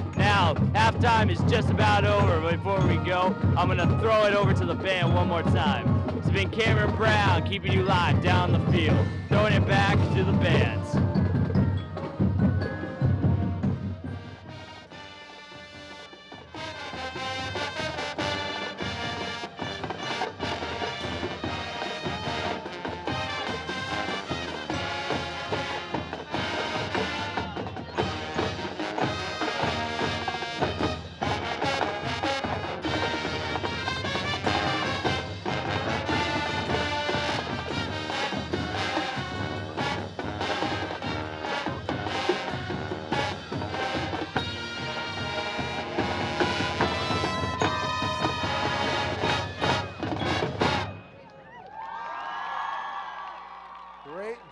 From the South Kitsap High School marching band there with the uh, the, the Bon Jovi montage along with the uh, Magical Mystery Tour there at the end. Wow, great job from the band. This is D Rod back up here in the booth.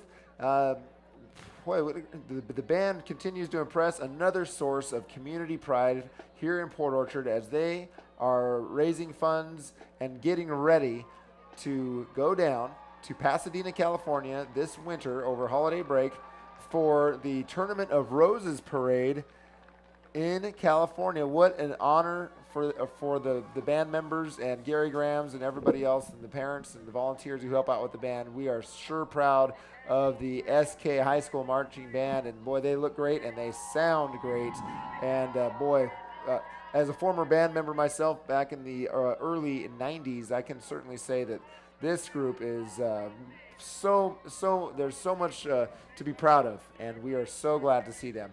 As we see the cheerleaders, another source of pride here for uh, Port Orchardites here in South Kitsap, and uh, South Kitsap High School just doing a, a great job of of uh, showing off their band. The cheerleaders doing a great job, and the football team sure looking good tonight as they're up 41 to eight as we await the Mount Tahoma Thunderbirds to come back out onto the field. South Kitsap ready to go. The field a little bit muddy here tonight. Uh, you can see about the 35 yard line.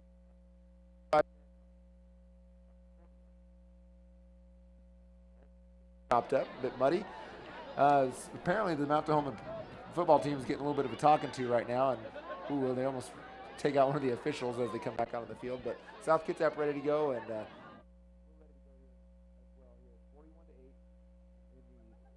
in this going into the second half. And we will throw it down to Cameron and Santos on the sideline for a report. Go ahead. Uh, Mr. Santos, our uh, sports director. Hey, um, so obviously, if we keep up this streak, we're gonna have an undefeated regular season.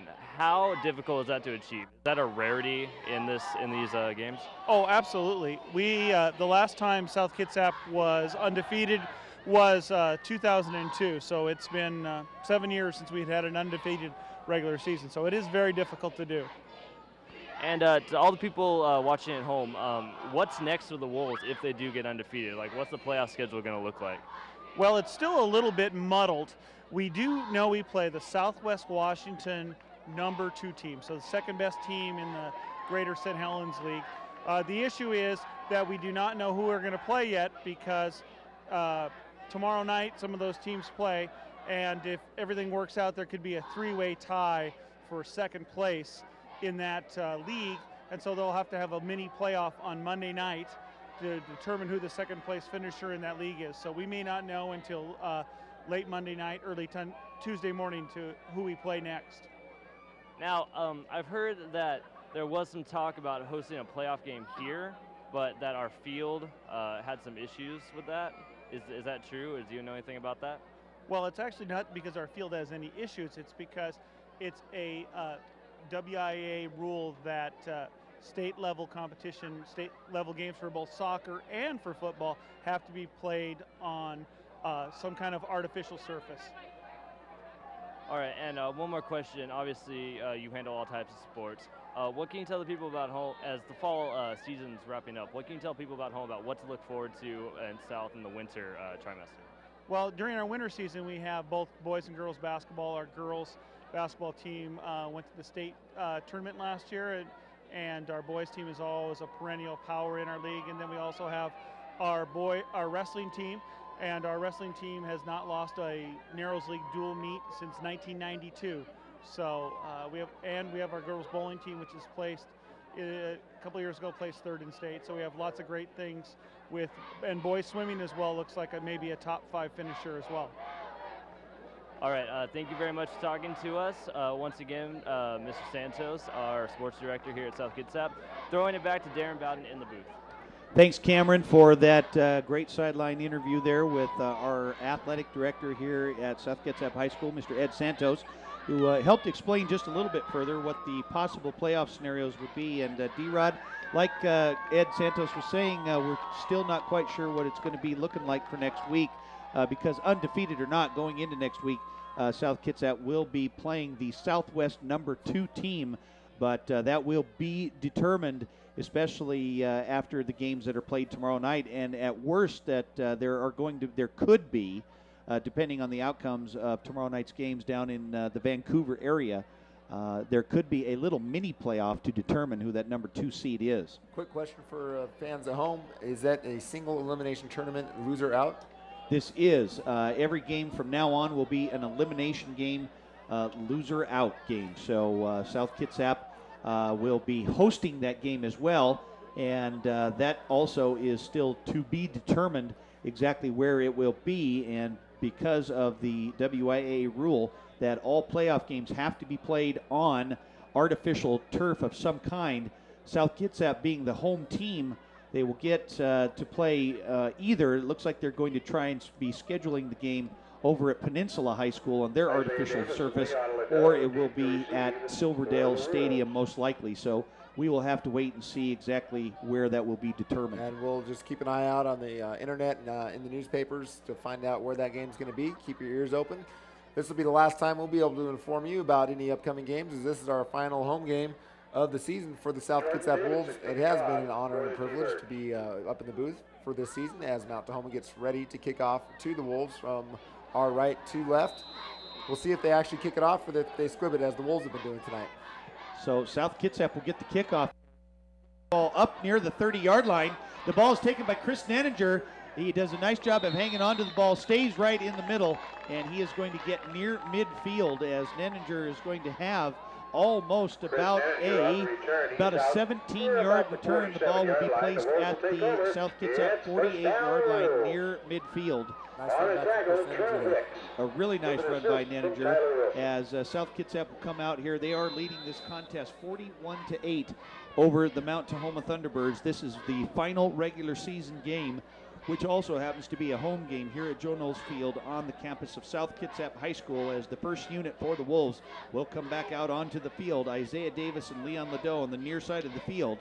Anderson's going to hand the ball off to Robert Issa. He stutter steps, stays on his feet, tries to inch his way a little bit farther forward.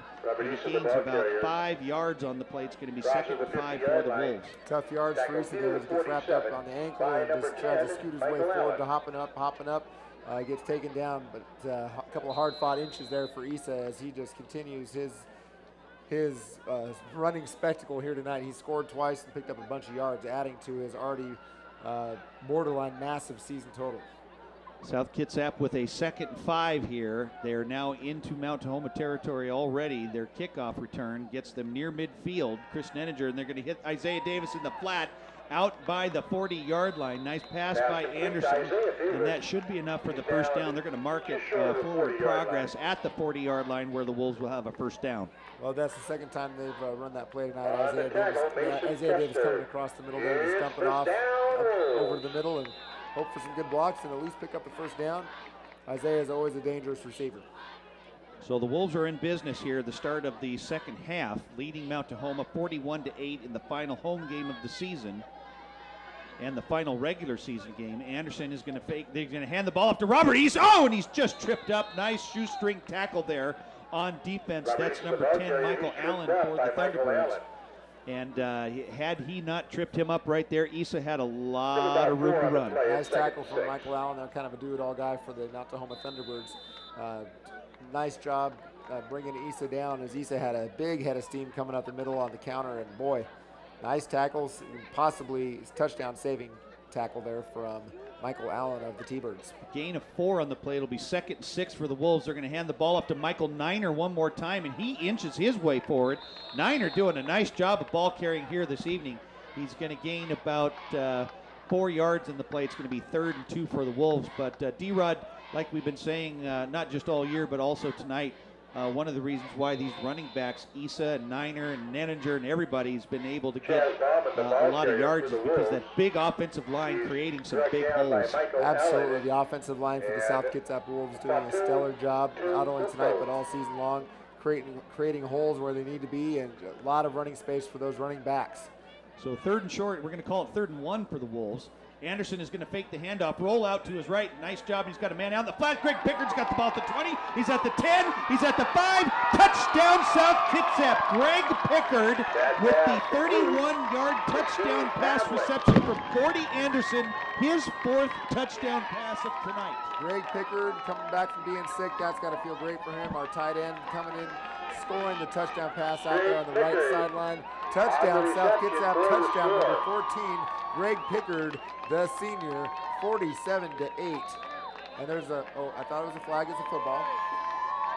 Now, we noticed earlier when the teams were coming out from halftime that there was a penalty flag out on the field uh, near midfield uh, around the 40 yard line as the uh, South Kitsap Wolves were all lined up. Looked like the seniors were looking to go out for the, uh, uh, like they would at the, at the coin toss, and uh, there was a penalty flag. And I couldn't quite catch what the penalty was, but it looked like that they called it unsportsmanlike conduct against South Kitsap even before the kickoff, and I wasn't sure what the penalty was. Must have been for probably you can't have more than four players come out uh, for to, as representatives of, as captains for the football team for the uh, midfield handshake and uh, coin toss, even at halftime. And I'm guessing that they either they could have assessed a penalty to Mount Tahoma for coming out of the locker room late, or it could have been a penalty against South Kitsap for uh, too many too many captains at midfield at, at half. Well, the official came out and he and he ruled and he signaled an unsportsmanlike conduct, but then he said that the penalty was declined. So uh, it seemed like it was all for naught. We still don't know what the penalty was about. Uh, I think that uh, they called the penalty on the South, on the Wolves. I'm guessing if it was declined, that means that the Mount Tahoma coaching staff said, uh, "No, we're not going to do that to uh, to the seniors." Uh, Exactly. On senior night, because all, all those extra guys out there for South Kitsap are all seniors. Well, the kick was up and good. So a classy move from Mount Tahoma coaching staff. And the the 31-yard touchdown pass reception by Greg Pickard, thrown from Gordy Anderson, who's having a big night tonight, Coach, uh, with his fourth touchdown pass, two to Leon Ladeau, one to Isaiah Davis, and now another one here to Greg Pickard, as the Wolves now lead Mount Tahoma 48 to 8. As Aaron Ladeau is going to kick the ball off here, Mount Tahoma is going to have the ball at their own 18-yard line. They fake the handoff on the reverse, and he's being chased down from behind, doing a lot of running east and west. And he's being chased out of bounds by Chris Nenninger, who rides him out of bounds. But there is a penalty flag on the far side near the Mount Tahoma sideline, about the 40-yard line. We'll have to see, check what the penalty Driven out is. of bounds by Aaron There's Ladeau. an block in the back of some kind against the uh, the receiving team, but uh, not really the area you'd expect it. So we'll see we'll see what happens. So we'll have to wait and see what the penalty is all about here. South Kitsap on the big touchdown pass reception to start the second half. It's uh, players outside the box, I believe, for Mount Tahoma. Sideline warning. And it is it's Sideline a warning. sideline warning against the uh, the Mount Tahoma Thunderbirds. So we've seen one of those on both sides here tonight. Uh, the South Kitsap Wolves had one just right before halftime, and now the Mount Tahoma Thunderbirds get one just after halftime. But nonetheless, South Kitsap now leading 48 to 8. Mount Tahoma will have the ball at their own 36-yard line. Yeah, the uh, officials really be uh, on top of both sidelines about keeping their players back, and uh, both sidelines now step back. At least the players, not necessarily the coaches. Baines with uh, the ball, and he's just snuffed out in the backfield. Nice job on defense there. That's big number 52, Ricky Bloss, and Bo Otak, who has been on the attack here tonight. Well, Bo Otak uh, gave us a really big game last week as well, and tonight he's uh, playing well again. Just really kind of coming coming around the last couple couple games, as far as I can see for South Kitsap. Uh, really, the senior Bo Otak uh, registering some solid performances here late in the season. In fact, it's going to be a one yard loss. The ball will be placed at the Mount Tahoma 35 yard line. Mount, Mount Tahoma coming out with a power running game once again. They're going to hand the ball off to the tailback in the backfield, but nothing doing right there. And he's hit hard. What a big hit on defense. Nice job by number five. Otak on the attack again. Dang, we just keep calling his number, and he's just uh, doing a great job for South Kitsap on uh, you know just both end, both sides of the field, uh, both sides of the ball, doing a great job. Bo Otak just can't help from calling his number if he's in on every play. Uh, eight minutes left in the third quarter, 48 to 8, South Kitsap. Mount Tahoma will come up to the line, one, uh, one wide out, uh, two back, uh, three backs. Baines is under center. They send the lone wide receiver to the far side. Baines, he's going to drop back, and he's going for a man. He's trying to needle it in there, and the ball is intercepted. The ball is intercepted by Van Slyke. He stays on his feet. He's got a couple of blockers. He's hit, stays on his feet, keeps going out to his left. He's still going on his feet. He's down to the five, and he's finally taken down, but a penalty flag comes flying in there near the 10 yard line. I can't believe that Van Slyke made it all the way down that far. Well, uh, he uh, should have been tackled a couple dozen yards ahead of that, but boy, he just kept hopping and hopping, jumping around, juking and jiving, and making up all the way to the left sideline. I'm guessing it's going to be an illegal block in the back on South Kitsap. There's a penalty flag at the nine-yard line. South Kitsap with the interception, but it will remain their ball as they had the ball. Uh, Van Slyke made the interception. We'll come back to about the 24-yard line, 15-yard penalty, uh, 10-yard penalty, hold. That's a hold against South Kitsap, 10-yard penalty, brings it back to the 19. Still, rem- the South Kitsap still in the red zone as a huge pickoff and return from uh, Van Slyke there for South Kitsap up to the nine yard line. What a huge play. South Kitsap will have the ball at the 19 yard line, first and 10. First down. DeAndre Van Slyke with the interception got all the way down to about the three yard line of Mount Tahoma, but an illegal block in the back. It's still going to give South Kitsap good field position inside their own 20 yard line. They're going to hand the ball up to Jordan Anderson, and I got it right, coach. I got it right this time. Yes, Jordan Anderson, the ghost of Coach Anderson, uh, has temporarily been put to rest here on Halloween week. Jordan Anderson with the big run, and uh, he was able. He only got one yard on the play, but big enough. Coach said I got his name right, and boy, am I feeling really good. I'm feeling really good about what I just did. I, you know, I'm, I'm proud of you. Jordan Anderson will probably feel better as well now that you got his name right finally. So Jordan Anderson with the one yard touch or the one yard run here, looking to get into the end zone for another touchdown. As uh, Tanner Romo is now in at quarterback for the Wolves, and they're going to hand the ball off to Jordan Anderson, but nothing doing. Nice job on defense there by the Thunderbirds. In fact, they're going to get a loss of about two yards on the play. And South Kitsap will be backed up to their own 20-yard line. Good job on defense there by Mount Tahoma. Oh boy, they had that play snuffed out from the beginning and just bang, bang, knocked him back. It is going to be third and 11. Uh, about third and 12 for South Kitsap.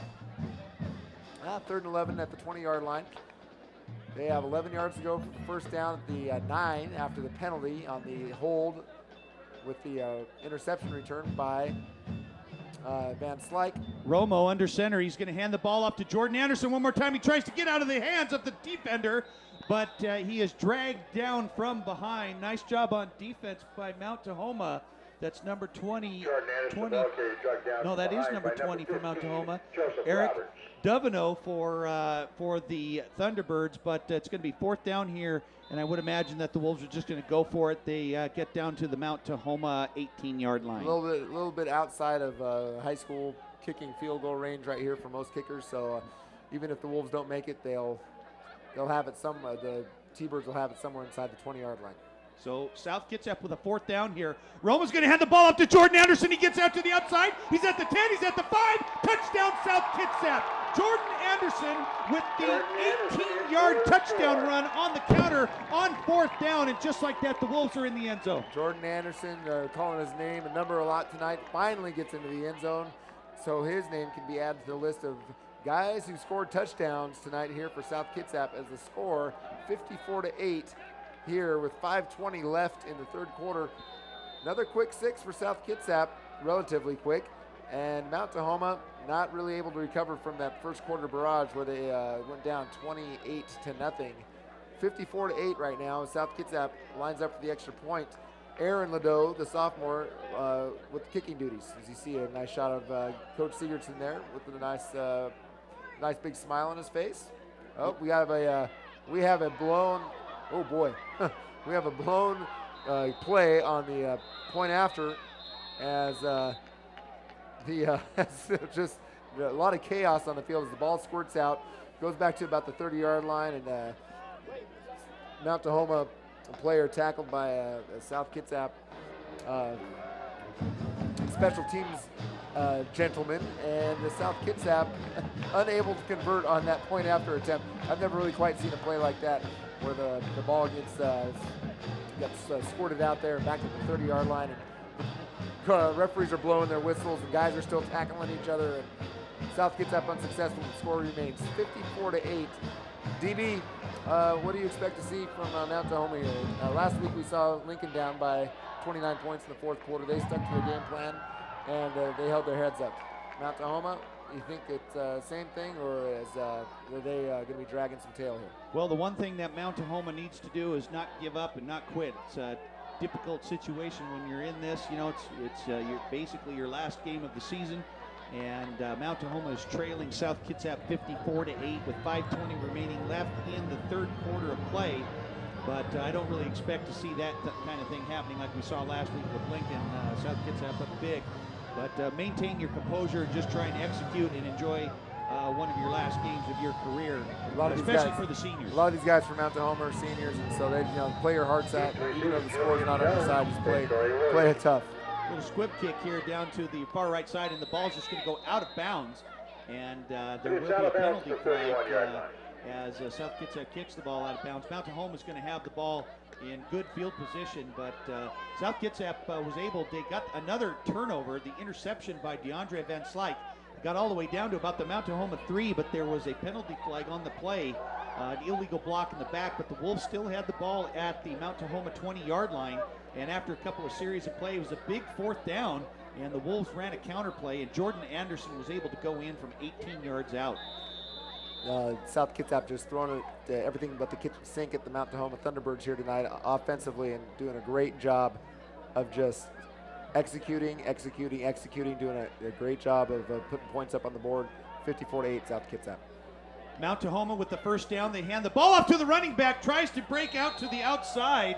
Nice run there on offense by that's Junior Angosia. Junior Duane, the And uh, they were able to get 40, near the almost to the first down marker. Nice run there, but that was some good blocking up front by the offensive line of Mount Tahoma. Absolutely. Mount Tahoma doing a good job there. We're just talking about how they still need to execute their game plan, still play the game.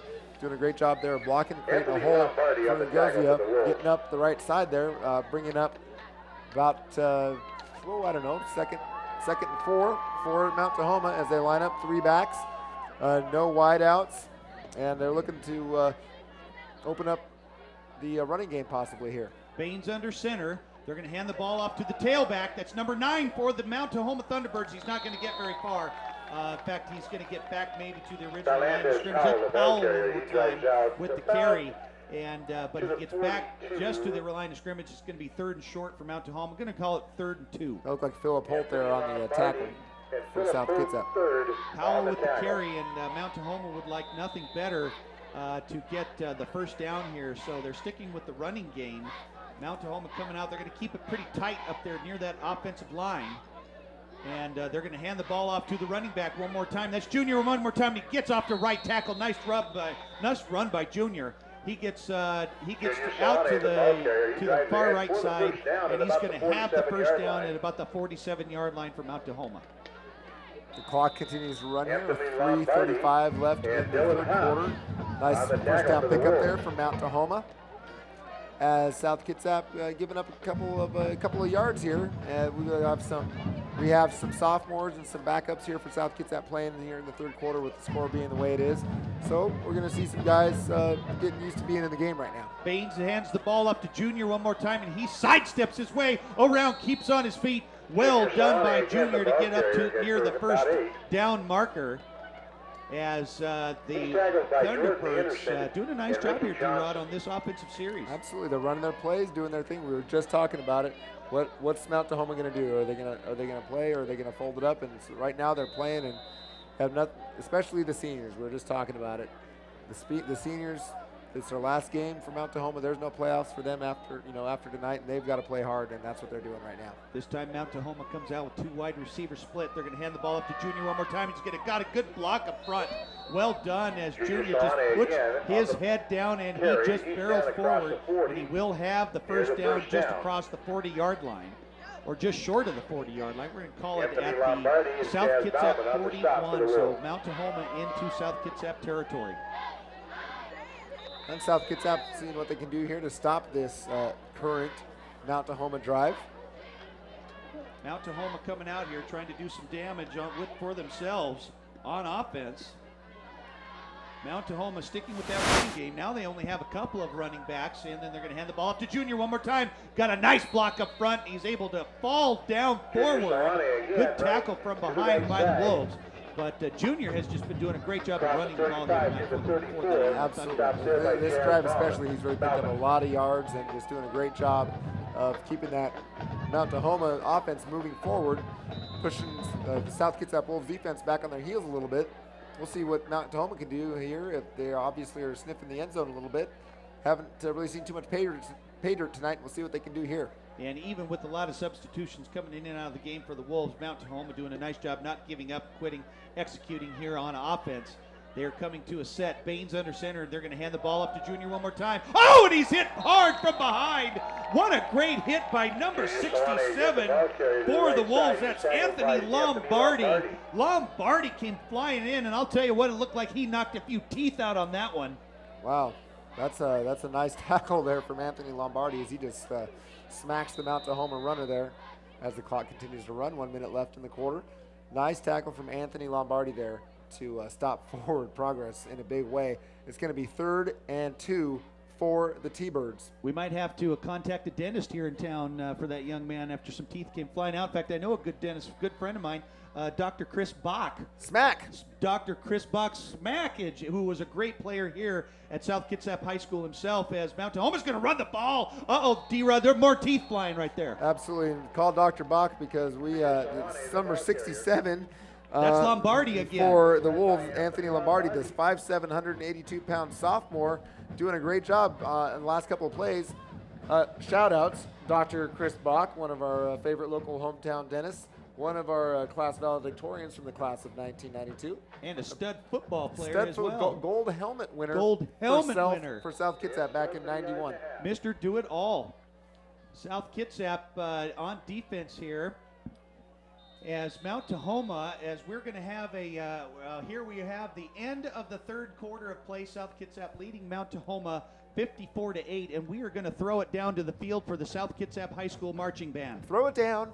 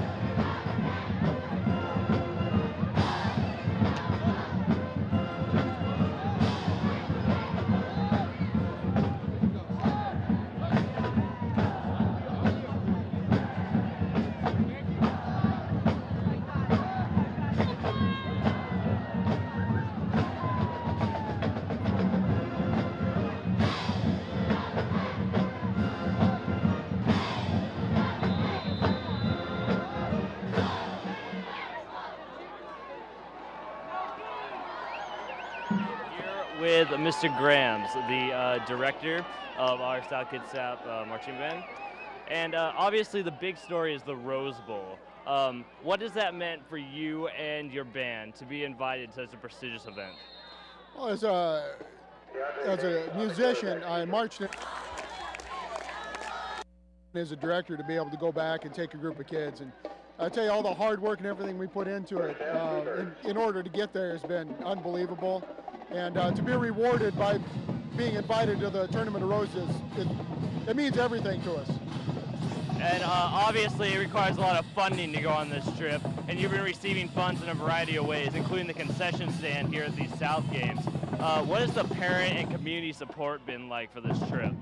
Uh, the parent and community support has been great. Uh, we sold close to twenty-seven dollars, twenty-seven, twenty-seven thousand dollars worth of uh, raffle tickets for our cruise, uh, and we've get, been getting donations every day. I get uh, two couple hundred dollars in donations from people in the community. So they've really uh, rallied around us and to help us get there. And how close are you to your goal? Um, I'll know tomorrow. All the final payments are due and uh, then we'll see uh, where we're at. So, but we'll, we'll be really close. So. All right, and one question I personally have been wondering a lot. Obviously, you do a theme of what songs you choose to do each year. Uh, are you a big Bon Jovi fan? Do you like a Slippery When Wet? I like Bon Jovi. I like their songs. Uh, when we were searching for music, we uh, looking through everything and just kind of decided that. You're awesome, Coach. You're awesome. Thanks. We, we're looking through the music. It's like, you know, this would be fun to play and the crowd would enjoy it, and we like it. So that's what we picked. All right. Thank you very much. That, again, was uh, Mr. Grams, our uh, band director. Uh, this has been Cameron Brown, uh, being your sideline reporter all game. This is my last uh, senior football game also, so I'm a little emotional too on this very nice night. Throwing it back to you one more time to D-Bow and D-Rod in the booth. Thanks, Cameron Brown, uh, nice, uh, nice interview there with Mr. Grams, and uh, you know, I don't mean this in a bad way, Mr. Grams, but you give love a bad name. As now Mount and thank you, Cameron Brown, for the sideline reports. Really, really quality work. As Mount Tahoma punches it in for touchdown number two of the night, and they're going for two points. And the pass is slotted down by number eight for South Kitsap. That is Ray Chico. And it's an unsuccessful attempt. By Ray it's 54 to 14, 10 and a half left here in the fourth quarter. We've had a nice interview with Mr. Ed Santos, the athletic director here tonight. We've had a, an interview with uh, the uh, band director, Mr. Gary Grams, here tonight. Uh, just overall awesome reporting from Cameron Brown. Great job, video crew. Well, like we were saying, the uh, South Kitsap High School marching band, under the direction of Gary Graham, has been doing a great job all year long, and uh, always a pleasure to come out here and watch, listen to the band playing in their halftime festivities. And like you were saying earlier, the band is trying to continuing to try and finish up their fundraising, raise enough money so they can make that big trip down to California here coming up soon in a few months. And um, but uh, overall, they're doing a great job of their performances. And just like the senior football players, the senior band members also enjoying their last home football game here this night. Casey Dowdy, absolutely, along with Chris Hutcherson for CJ Wolves. Dowdy in for the game in the game for uh, South Kitsap. I just heard on the intercom a former basketball player of mine. It's uh, John Cedric. He is a sophomore this year. Uh, he is number not sure yet because I'm still looking for him. Good to see he's in the game. Also in uh, back deep to receive the kickoff for the Wolves is number 12, Chris Hutcherson. So uh, Dowdy and Hutcherson are back to receive this kick. Uh, Mount Tahoma did get on the board. They had a big pass play as uh, they got the ball all the way down to the one yard line. And uh, then Baines was able to just sneak it right in over center, and they went for the two point conversion, but they were unsuccessful. However, they do trail the Wolves 54 to 14 with 10 29 remaining here in the game. And it looks like Mount Tahoma might even go for an onside kick, and they are. They're going to try and kick it. Oh, and they was close, but nothing doing. And the Wolves are going to fall on the ball. They're going to mark it down at the South Kitsap 47 yard line. So South Kitsap will take over and downs with D-Rod. I can only imagine we're going to start seeing a few more substitutions here with such a big lead South Kitsap. I guess that you're uh, you're very correct about that, Mr. Mr. D. Bow Bowden. Uh, with 10-15 left here in the fourth quarter, we can safely say the Wolves are on their way to victory, unless Mount Tahoma can surmount a 40-point comeback attack here in the fourth quarter without allowing South Kitsap to score a single extra point. We're going to guess and assume that South Kitsap will cruise into an undefeated season, which is a, a rarity, as you heard uh, Ed Santos talking about on the sideline with, with Cameron Brown. Uh, before 2002, I can't remember the last time the Wolves went undefeated. I know they had some undefeated seasons back in the 80s and 90s under the tutelage of Ed Fisher as Tanner Romo f- steps back to pass to number 24, and that's a completed pass. Two, that is a Ricky Johnson for South Kitsap. Uh, an undefeated season is going to be huge for South Kitsap. They're ranked seventh in the state, although top 10 rankings don't really mean much if you talk to any coach in the state or anywhere. Uh, it doesn't mean anything because one loss in the playoffs means you're out. So what does a top 10 ranking really mean? Although it is a point of pride for South Kitsap to be ranked top 10 in the state again. It is, And, it uh, is. really, really uh, something that these players can hang their hats on. Mike Alonzo and Ricky Johnson are in at uh, wide receiver here. We've got uh, a host of new uh, Wolves that are in here. Chris Hutcherson is in at tailback. Romo with the fake. He's going to roll to his left. He's got a man out the flat, and the pass is incomplete. The pass was intended for the tight end, number 83 for the Wolves. That is Ben Severance, and uh, the pass was incomplete by Romo to Severance, and uh, the Wolves are going to have a second down here uh, to go. But uh, D-Rod, like you were saying earlier about the playoffs, it is so correct uh, about how uh, just a momentum breaker, uh, w- winning and or losing going into the playoffs, and the Wolves are well under their way uh, going into the playoffs next week with an undefeated 9 0 season as Romo comes in. It's actually going to be third down, about four yards to go.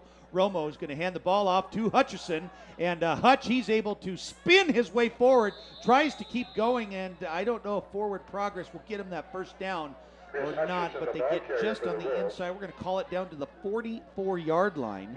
South Kitsap needs to break that. It's going to be fourth and one to go. In fact, it's going to be fourth and inches, and I'll bet that the Wolves go for it here. I'm guessing that they will. And uh, speak, speaking of regular season, oh, they're going to punt. Speaking of regular season and records and things like that, I think, if, if I'm not mistaken, that the Wolves will be uh, the Narrows League champions because I know in basketball there's a playoff to determine Narrows League champs, but I don't think there's going to be a playoff for that.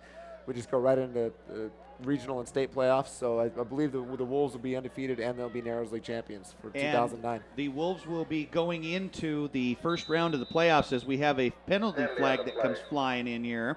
Might be a delay of game. It could be a delay of game. It's on South. Um, the South Kit, and they are. They're going to scoot him back a uh, about five more yards. It's going to be a delay of game, I believe, warning against the Wolves. So scoot the Wolves back five more yards near midfield. Oh, it was an illegal substitution against the Wolves, is what it was. According so to our PA announcer, Mr. that's Jeff right. Mitchell. As uh, so, South Kitsap will kick the ball away. Aaron Ledoux is doing the kicking duties in a quick rush right there. The uh, Thunderbirds were trying to block that punt. The back man gets the ball at the 15-yard line, has a little bit of room to run. That's number four. That's Robert Donald for the Thunderbirds. But uh, Mount Tahoma will have the ball first and 10 at their own 20-yard line. But like you were saying earlier, D-Rod, momentum is everything. And uh, but the Wolves are going to have some momentum going into the first round of the playoffs next week. Absolutely, and we'll be the number two team out of the Southwest District, and we're not sure who that's going to be yet. Uh, according to Mr. Ed Santos there on the sideline report, we'll wait and have to see uh, what happens tomorrow night. There might have to be a playoff because there could be a, t- a tie for second, so they might have to have a mini playoff on Monday, um, which involves uh, you know two. Uh, Two uh, running clock halves of 10 minutes and a half a field. No, I'm kidding. That's not a mini playoff. It's just a single playoff game to determine who to determine who who will take second place for the Southwest Division. So Baines under centers. They're going to hand the ball off to the running back, and he cuts back opposite to the far side of the field. That was Powell on the run. No, that was Powell doing the blocking. Uh, Junior had the ball one more time for Mount Tahoma and uh, got uh, that was a big two-yard gain. I'll tell you right there because it sure looked like he gained about 22. Well, it's a good, good block and a good run, and Mount Tahoma still working hard here, and uh, most a lot of their starters still in the game. Those guys are going to play it play it out, and uh, it's good to see them still still hustling and, and playing hard. Baines is going to hand the ball up to Junior one more time, but not until a pack of Wolves is right there to stop him. And uh, looked like that the ball came loose, but I think that the officials were already signaling that his forward progress had uh, been stopped. So uh, we're going to say that he gained about uh, maybe a couple on the play. We'll see how far that they scoot it forward. The officials are conversing. Pie and ice cream once again down there. Talking D-Rod. about pie and ice cream. What, Pie are and they, do, ice what are they doing after the game? Is it going to be blueberry or rhubarb, or is it going to be a la mode or whipped cream? That's right. Now they're calling in the other officials Oh, to see what kind oh. of pie and ice cream they're going to get the uh, Mount Oh. Tahoma uh, Heated or not heated? Heated or not heated. That's right. So uh, but, That's uh, by the way, that's number 25 Douglas Yamamoto and number 34 Caleb Nelson in on the tackle there for South Kitsap on that last play. Pie, which peach pie apple pie. You know, peach, pie sounds pretty good right now. Ooh, that does sound good. So South Kitsap uh, on defense here. A lot of substitutions coming in. Number 63 for the Wolves, and uh, number 75 that is uh, Christian Kell. And uh, now there's some more substitutions coming off the field here, trying to get some guys in the in the play. Baines he drops back. He's looking flushed out of the pocket. He's got a man on the flat. That's Powell with the reception at the 20 and uh, he sidesteps a would-be tackler, keeps going on his feet. He shakes off another tackler until he's finally taken down, and that is Lombardi. Lombardi, the sophomore, has just been everywhere tonight on defense. All over the place. Lombardi doing a great job making tackles for these Wolves. Uh, you know, the uh, the back there for uh, from Mount is running all over the place. Somebody needed to come in there and take him down. Uh, we're going to go back down to Cameron Brown. What do you got for us, Cameron? Hi, um, I'm here with uh, Mr. Ledoux, who, of course, is the father of Leon Ledoux and Aaron Ledoux, two of our fine upstanding football players here at South. He's also a security officer here at the school. Uh, Mr. Ledoux, from a parent's perspective, as a representative of all the parents here, what does it feel like to be a senior here, or be here on senior night with your child being one of the seniors? I think it's a special occasion, not just for me, but for everybody else that's involved with the uh, seniors tonight, as, you know, as well as all the cheerleaders. Um, you knew this time was coming. I remember Pickard and I, principal of South Colby, we would be in the stands when these kids were seventh graders and always saying, you know, one day our boys are going to be out there, but we were always saying at the same time that I can wait for that day because you know it's going to come and go real quick, and that's exactly what's happened. It's like come here in a flash. So I think a lot of the senior parents here are just – you know, happy in one way but sad in another. And uh, obviously, we've had a wildly successful season. Um, looks like we're going to have a completely undefeated regular season. What are your thoughts uh, as a parent who's been watching all these games? What are your thoughts on the season thus far? Well, as far as the season's concerned, I, I think, like you just said, they're going to go 9 and 0, win the Narrows League. Uh, I think since first time since 2002, if I'm not mistaken. Um, I think it's wonderful that these kids, they've worked really hard. Uh, most of them have played together since seventh grade. A lot of them have played together since Pee Wees.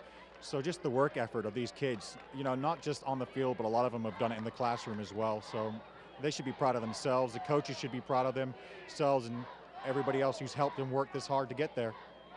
And uh, of course, you're the parent of uh, two of the boys on the football team. Um, Leon, in particular, has been a huge playmaker this season. You must be uh, obviously very proud of them. Uh, what would you uh, want to say to them? Oh, you know, just both my boys. I love them very much. Their mother loves them very much. You know, both of them get all their talent from their mother, so it's nothing to do with me. They've done a great job. Leon's done a great job with his younger brother. He's encouraged them all the way through. Um, as far as them playing together, you know, it's sort of a dream come true. You never think that your two boys are going to be on the same field together. So I'm glad that they've got to play together. That's really all I can say about that. And you know, just like I say, all these boys have done a great job, and you know, encouraging the younger sophomores as well. That's been great. All right, uh, that again was Mr. Ledoux. Um, throwing it back to uh, Mr. Bowden in the booth.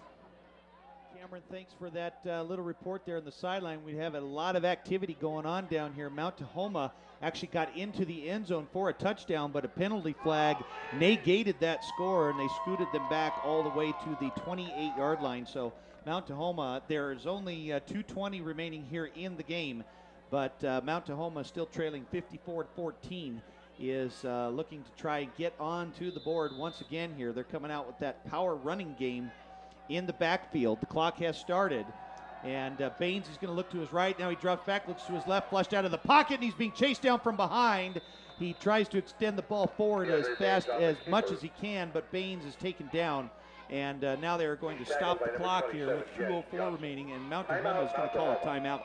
That's uh, number 27, Jens Johnson, in there on the, on the tackle for South Kitsap, I believe.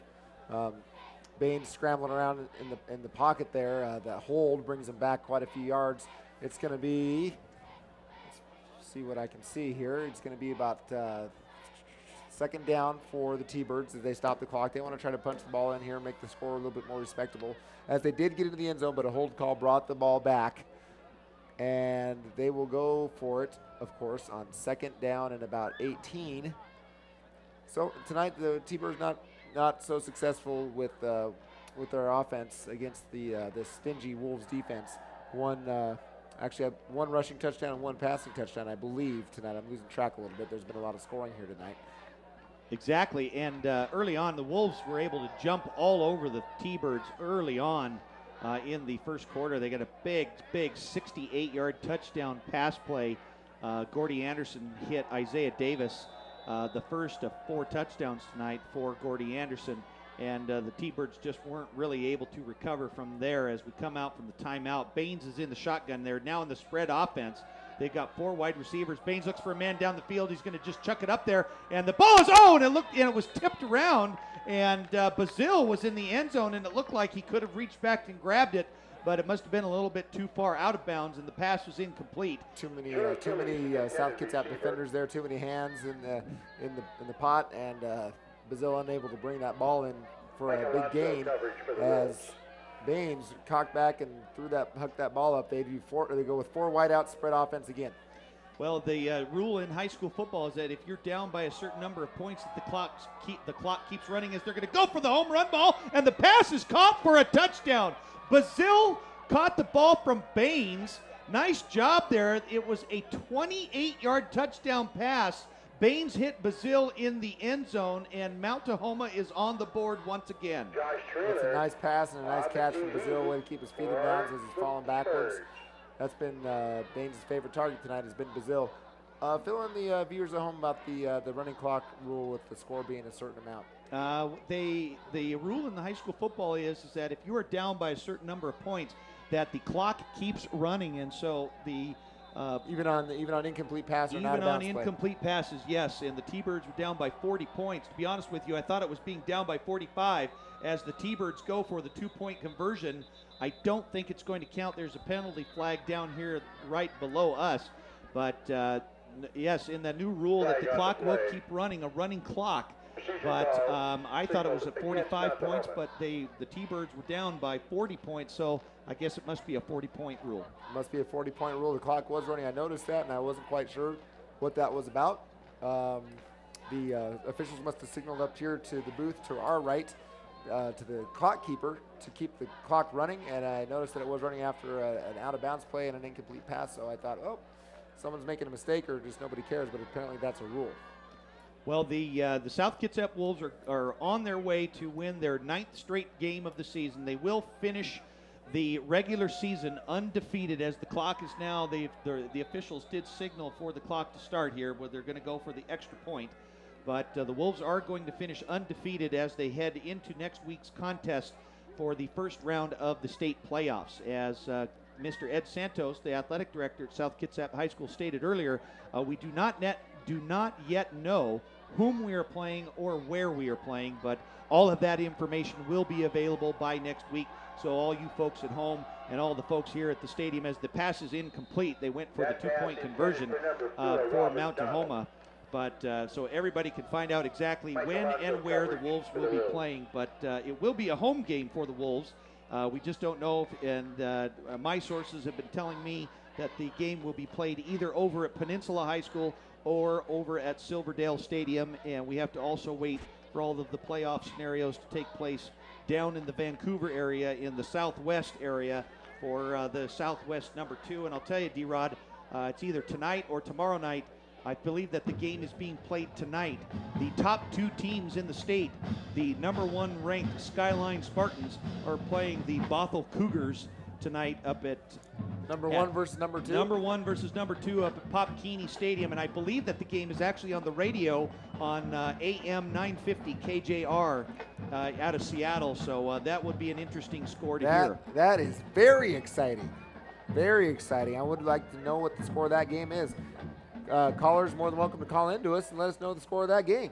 Well, that would be great if we actually had phones, but uh, unfortunately, the phone lines are down for us here right now. We're not on the ra- we're not on the radio. We are not on the radio. We are on television, and even here oh. on in TV land, we don't even have telephones that oh. anybody can call in. So as uh, Mount Tahoma lines up for another onside kick, they are going for it, and there is going to be a penalty flag, which usually means there's going to be an offsides, as Mount Tahoma was going for the onside kick but uh, somebody from Mount Tahoma went past that line of scrimmage just a little bit too soon. That they did. So, and, I, and it, with the South gets Kitsap being up 34 points now, I, am guessing the rule is at 40. The clock keeps running. I'm guessing that the clock, maybe the clock won't stop on dead ball situations now. It'll be back to normal. We'll have to wait and see. They're only down by 34 points, so uh, we'll see if the clock does keep running. But uh, what will also be interesting next year, D-Rod, is uh, the South Kitsap Wolves will win the Narrows League Championship this year in football as they finish the season undefeated. But next year, uh, the Narrows League will be changing as we are going to be welcoming in four new schools. Uh, the Narrows League has 11 schools. Uh, our sources have told us that uh, that talks are in the making. At uh, most likely, we're going to be having four new schools come in. That and we'll have somewhat of a 3A, 4A league. Uh, Yelm, North Thurston, Timberline, and Capital will also be back in the Narrows League next year, making a, a total number of 15 teams in the Narrows League. And uh, Timberline and North Thurston, former members of the Narrows League. Uh, and Capital. And Capital as well, as Mount Tahoma is going to go for the little squib kick, but South Kitsap is just going to let the ball uh, Down by the just fall on the ball itself. But the clock, and we're right, and it does keep going. So the rules take um, apparently they are going to keep the clock running here tonight. So I'm not really sure exactly what the new rule is in terms of exactly how many points. Maybe but it's maybe it's 33 points. It Uh, could if be- you're more than 33 points, your clock is running. It must be as uh, South Kitsap is uh, going to just let the clock run out here now under a minute remaining, and I can only imagine that Coach Sigurdsson is down there on the sideline talking to his players, saying, "Whatever you do, don't turn the ball over, and we are probably going to just run this ball, and we're not getting cute." Uh, nothing cute. Uh, just keep it uh, keep it predictable. Going to take a victory formation snap here, and the game will end. And the South Kitsap Wolves will march on. Skyline loses to Bothell tonight, as we heard just over the uh, the airwaves. Uh, surprise! Uh, just uh, probably an amazing game. Something one we'd like to see. We might be playing one of those schools a couple weeks down the road. I'm sure it was amazing. As South Kitsap marches on to an undefeated season, 9 and 0, undefeated league champs of the Narrows League. Good job, South Kitsap, uh, defeating Mount Tahoma tonight, 54 to 20. And not only did we have a big roar of the crowd because the Wolves are going to finish the regular season undefeated, but no sooner did we say that, that a couple of uh, South Kitsap football players snuck up behind Coach DJ Sigurdsson and they did the traditional dumping of the Gatorade barrel all over him. Ah, that's sweet. That means that they love him. Let's just hope that he doesn't come down with a cold or flu. But uh, anyways, uh, nice job by the South Kitsap Wolves as they come away with a 54 to 20 victory here tonight at the final home season. Uh, regular season football game being played here at Joe Knowles Field. We want to thank everybody for joining us here tonight. South Kitsap High School football game. We'd also like to thank the students of the video production program here at South Kitsap High School who have made this television program possible. Again, and we, we can't uh, we can't end the night without having a big shout out or also a big thank you to D Rod for joining us in the booth here this year one more time. Uh, DB uh, and Mr. Downham, thanks so much for having me over here in the booth. Uh, it's been a pleasure and a privilege of mine uh, to uh, to be in the booth once again. The video production crew, excellent job, and thanks to everyone for having us and me up here in the booth for the 09 SK football season. And once again, the Wolves finished the season undefeated 9 0, ranked number 7 in the state, and they will head into next week's first round playoff game. Uh, still awaiting to hear the time and the place in which they will be playing, most likely the number two out of the Southwest seed. South Kitsap goes into the first round of the playoffs as the Narrows League number one team. Well, we, again, we'd like to thank everybody here for joining us here in the booth tonight. Check your local listings and your local school district here at South Kitsap High School for the time and the dates for all of the playoff action. I'm Darren Bowden. I'd like to thank D Rod for joining me here in the booth tonight, Mike Downham and his video production crew, Mr. Gary Grams and the South Kitsap High School Band, and to all of the students and staff and parents and community of South Kitsap that has made this an excellent football season. So, once again, South Kitsap South Kitsap defeats Mount Tahoma here 54 to 20. So long and good evening everybody from South Kitsap High School.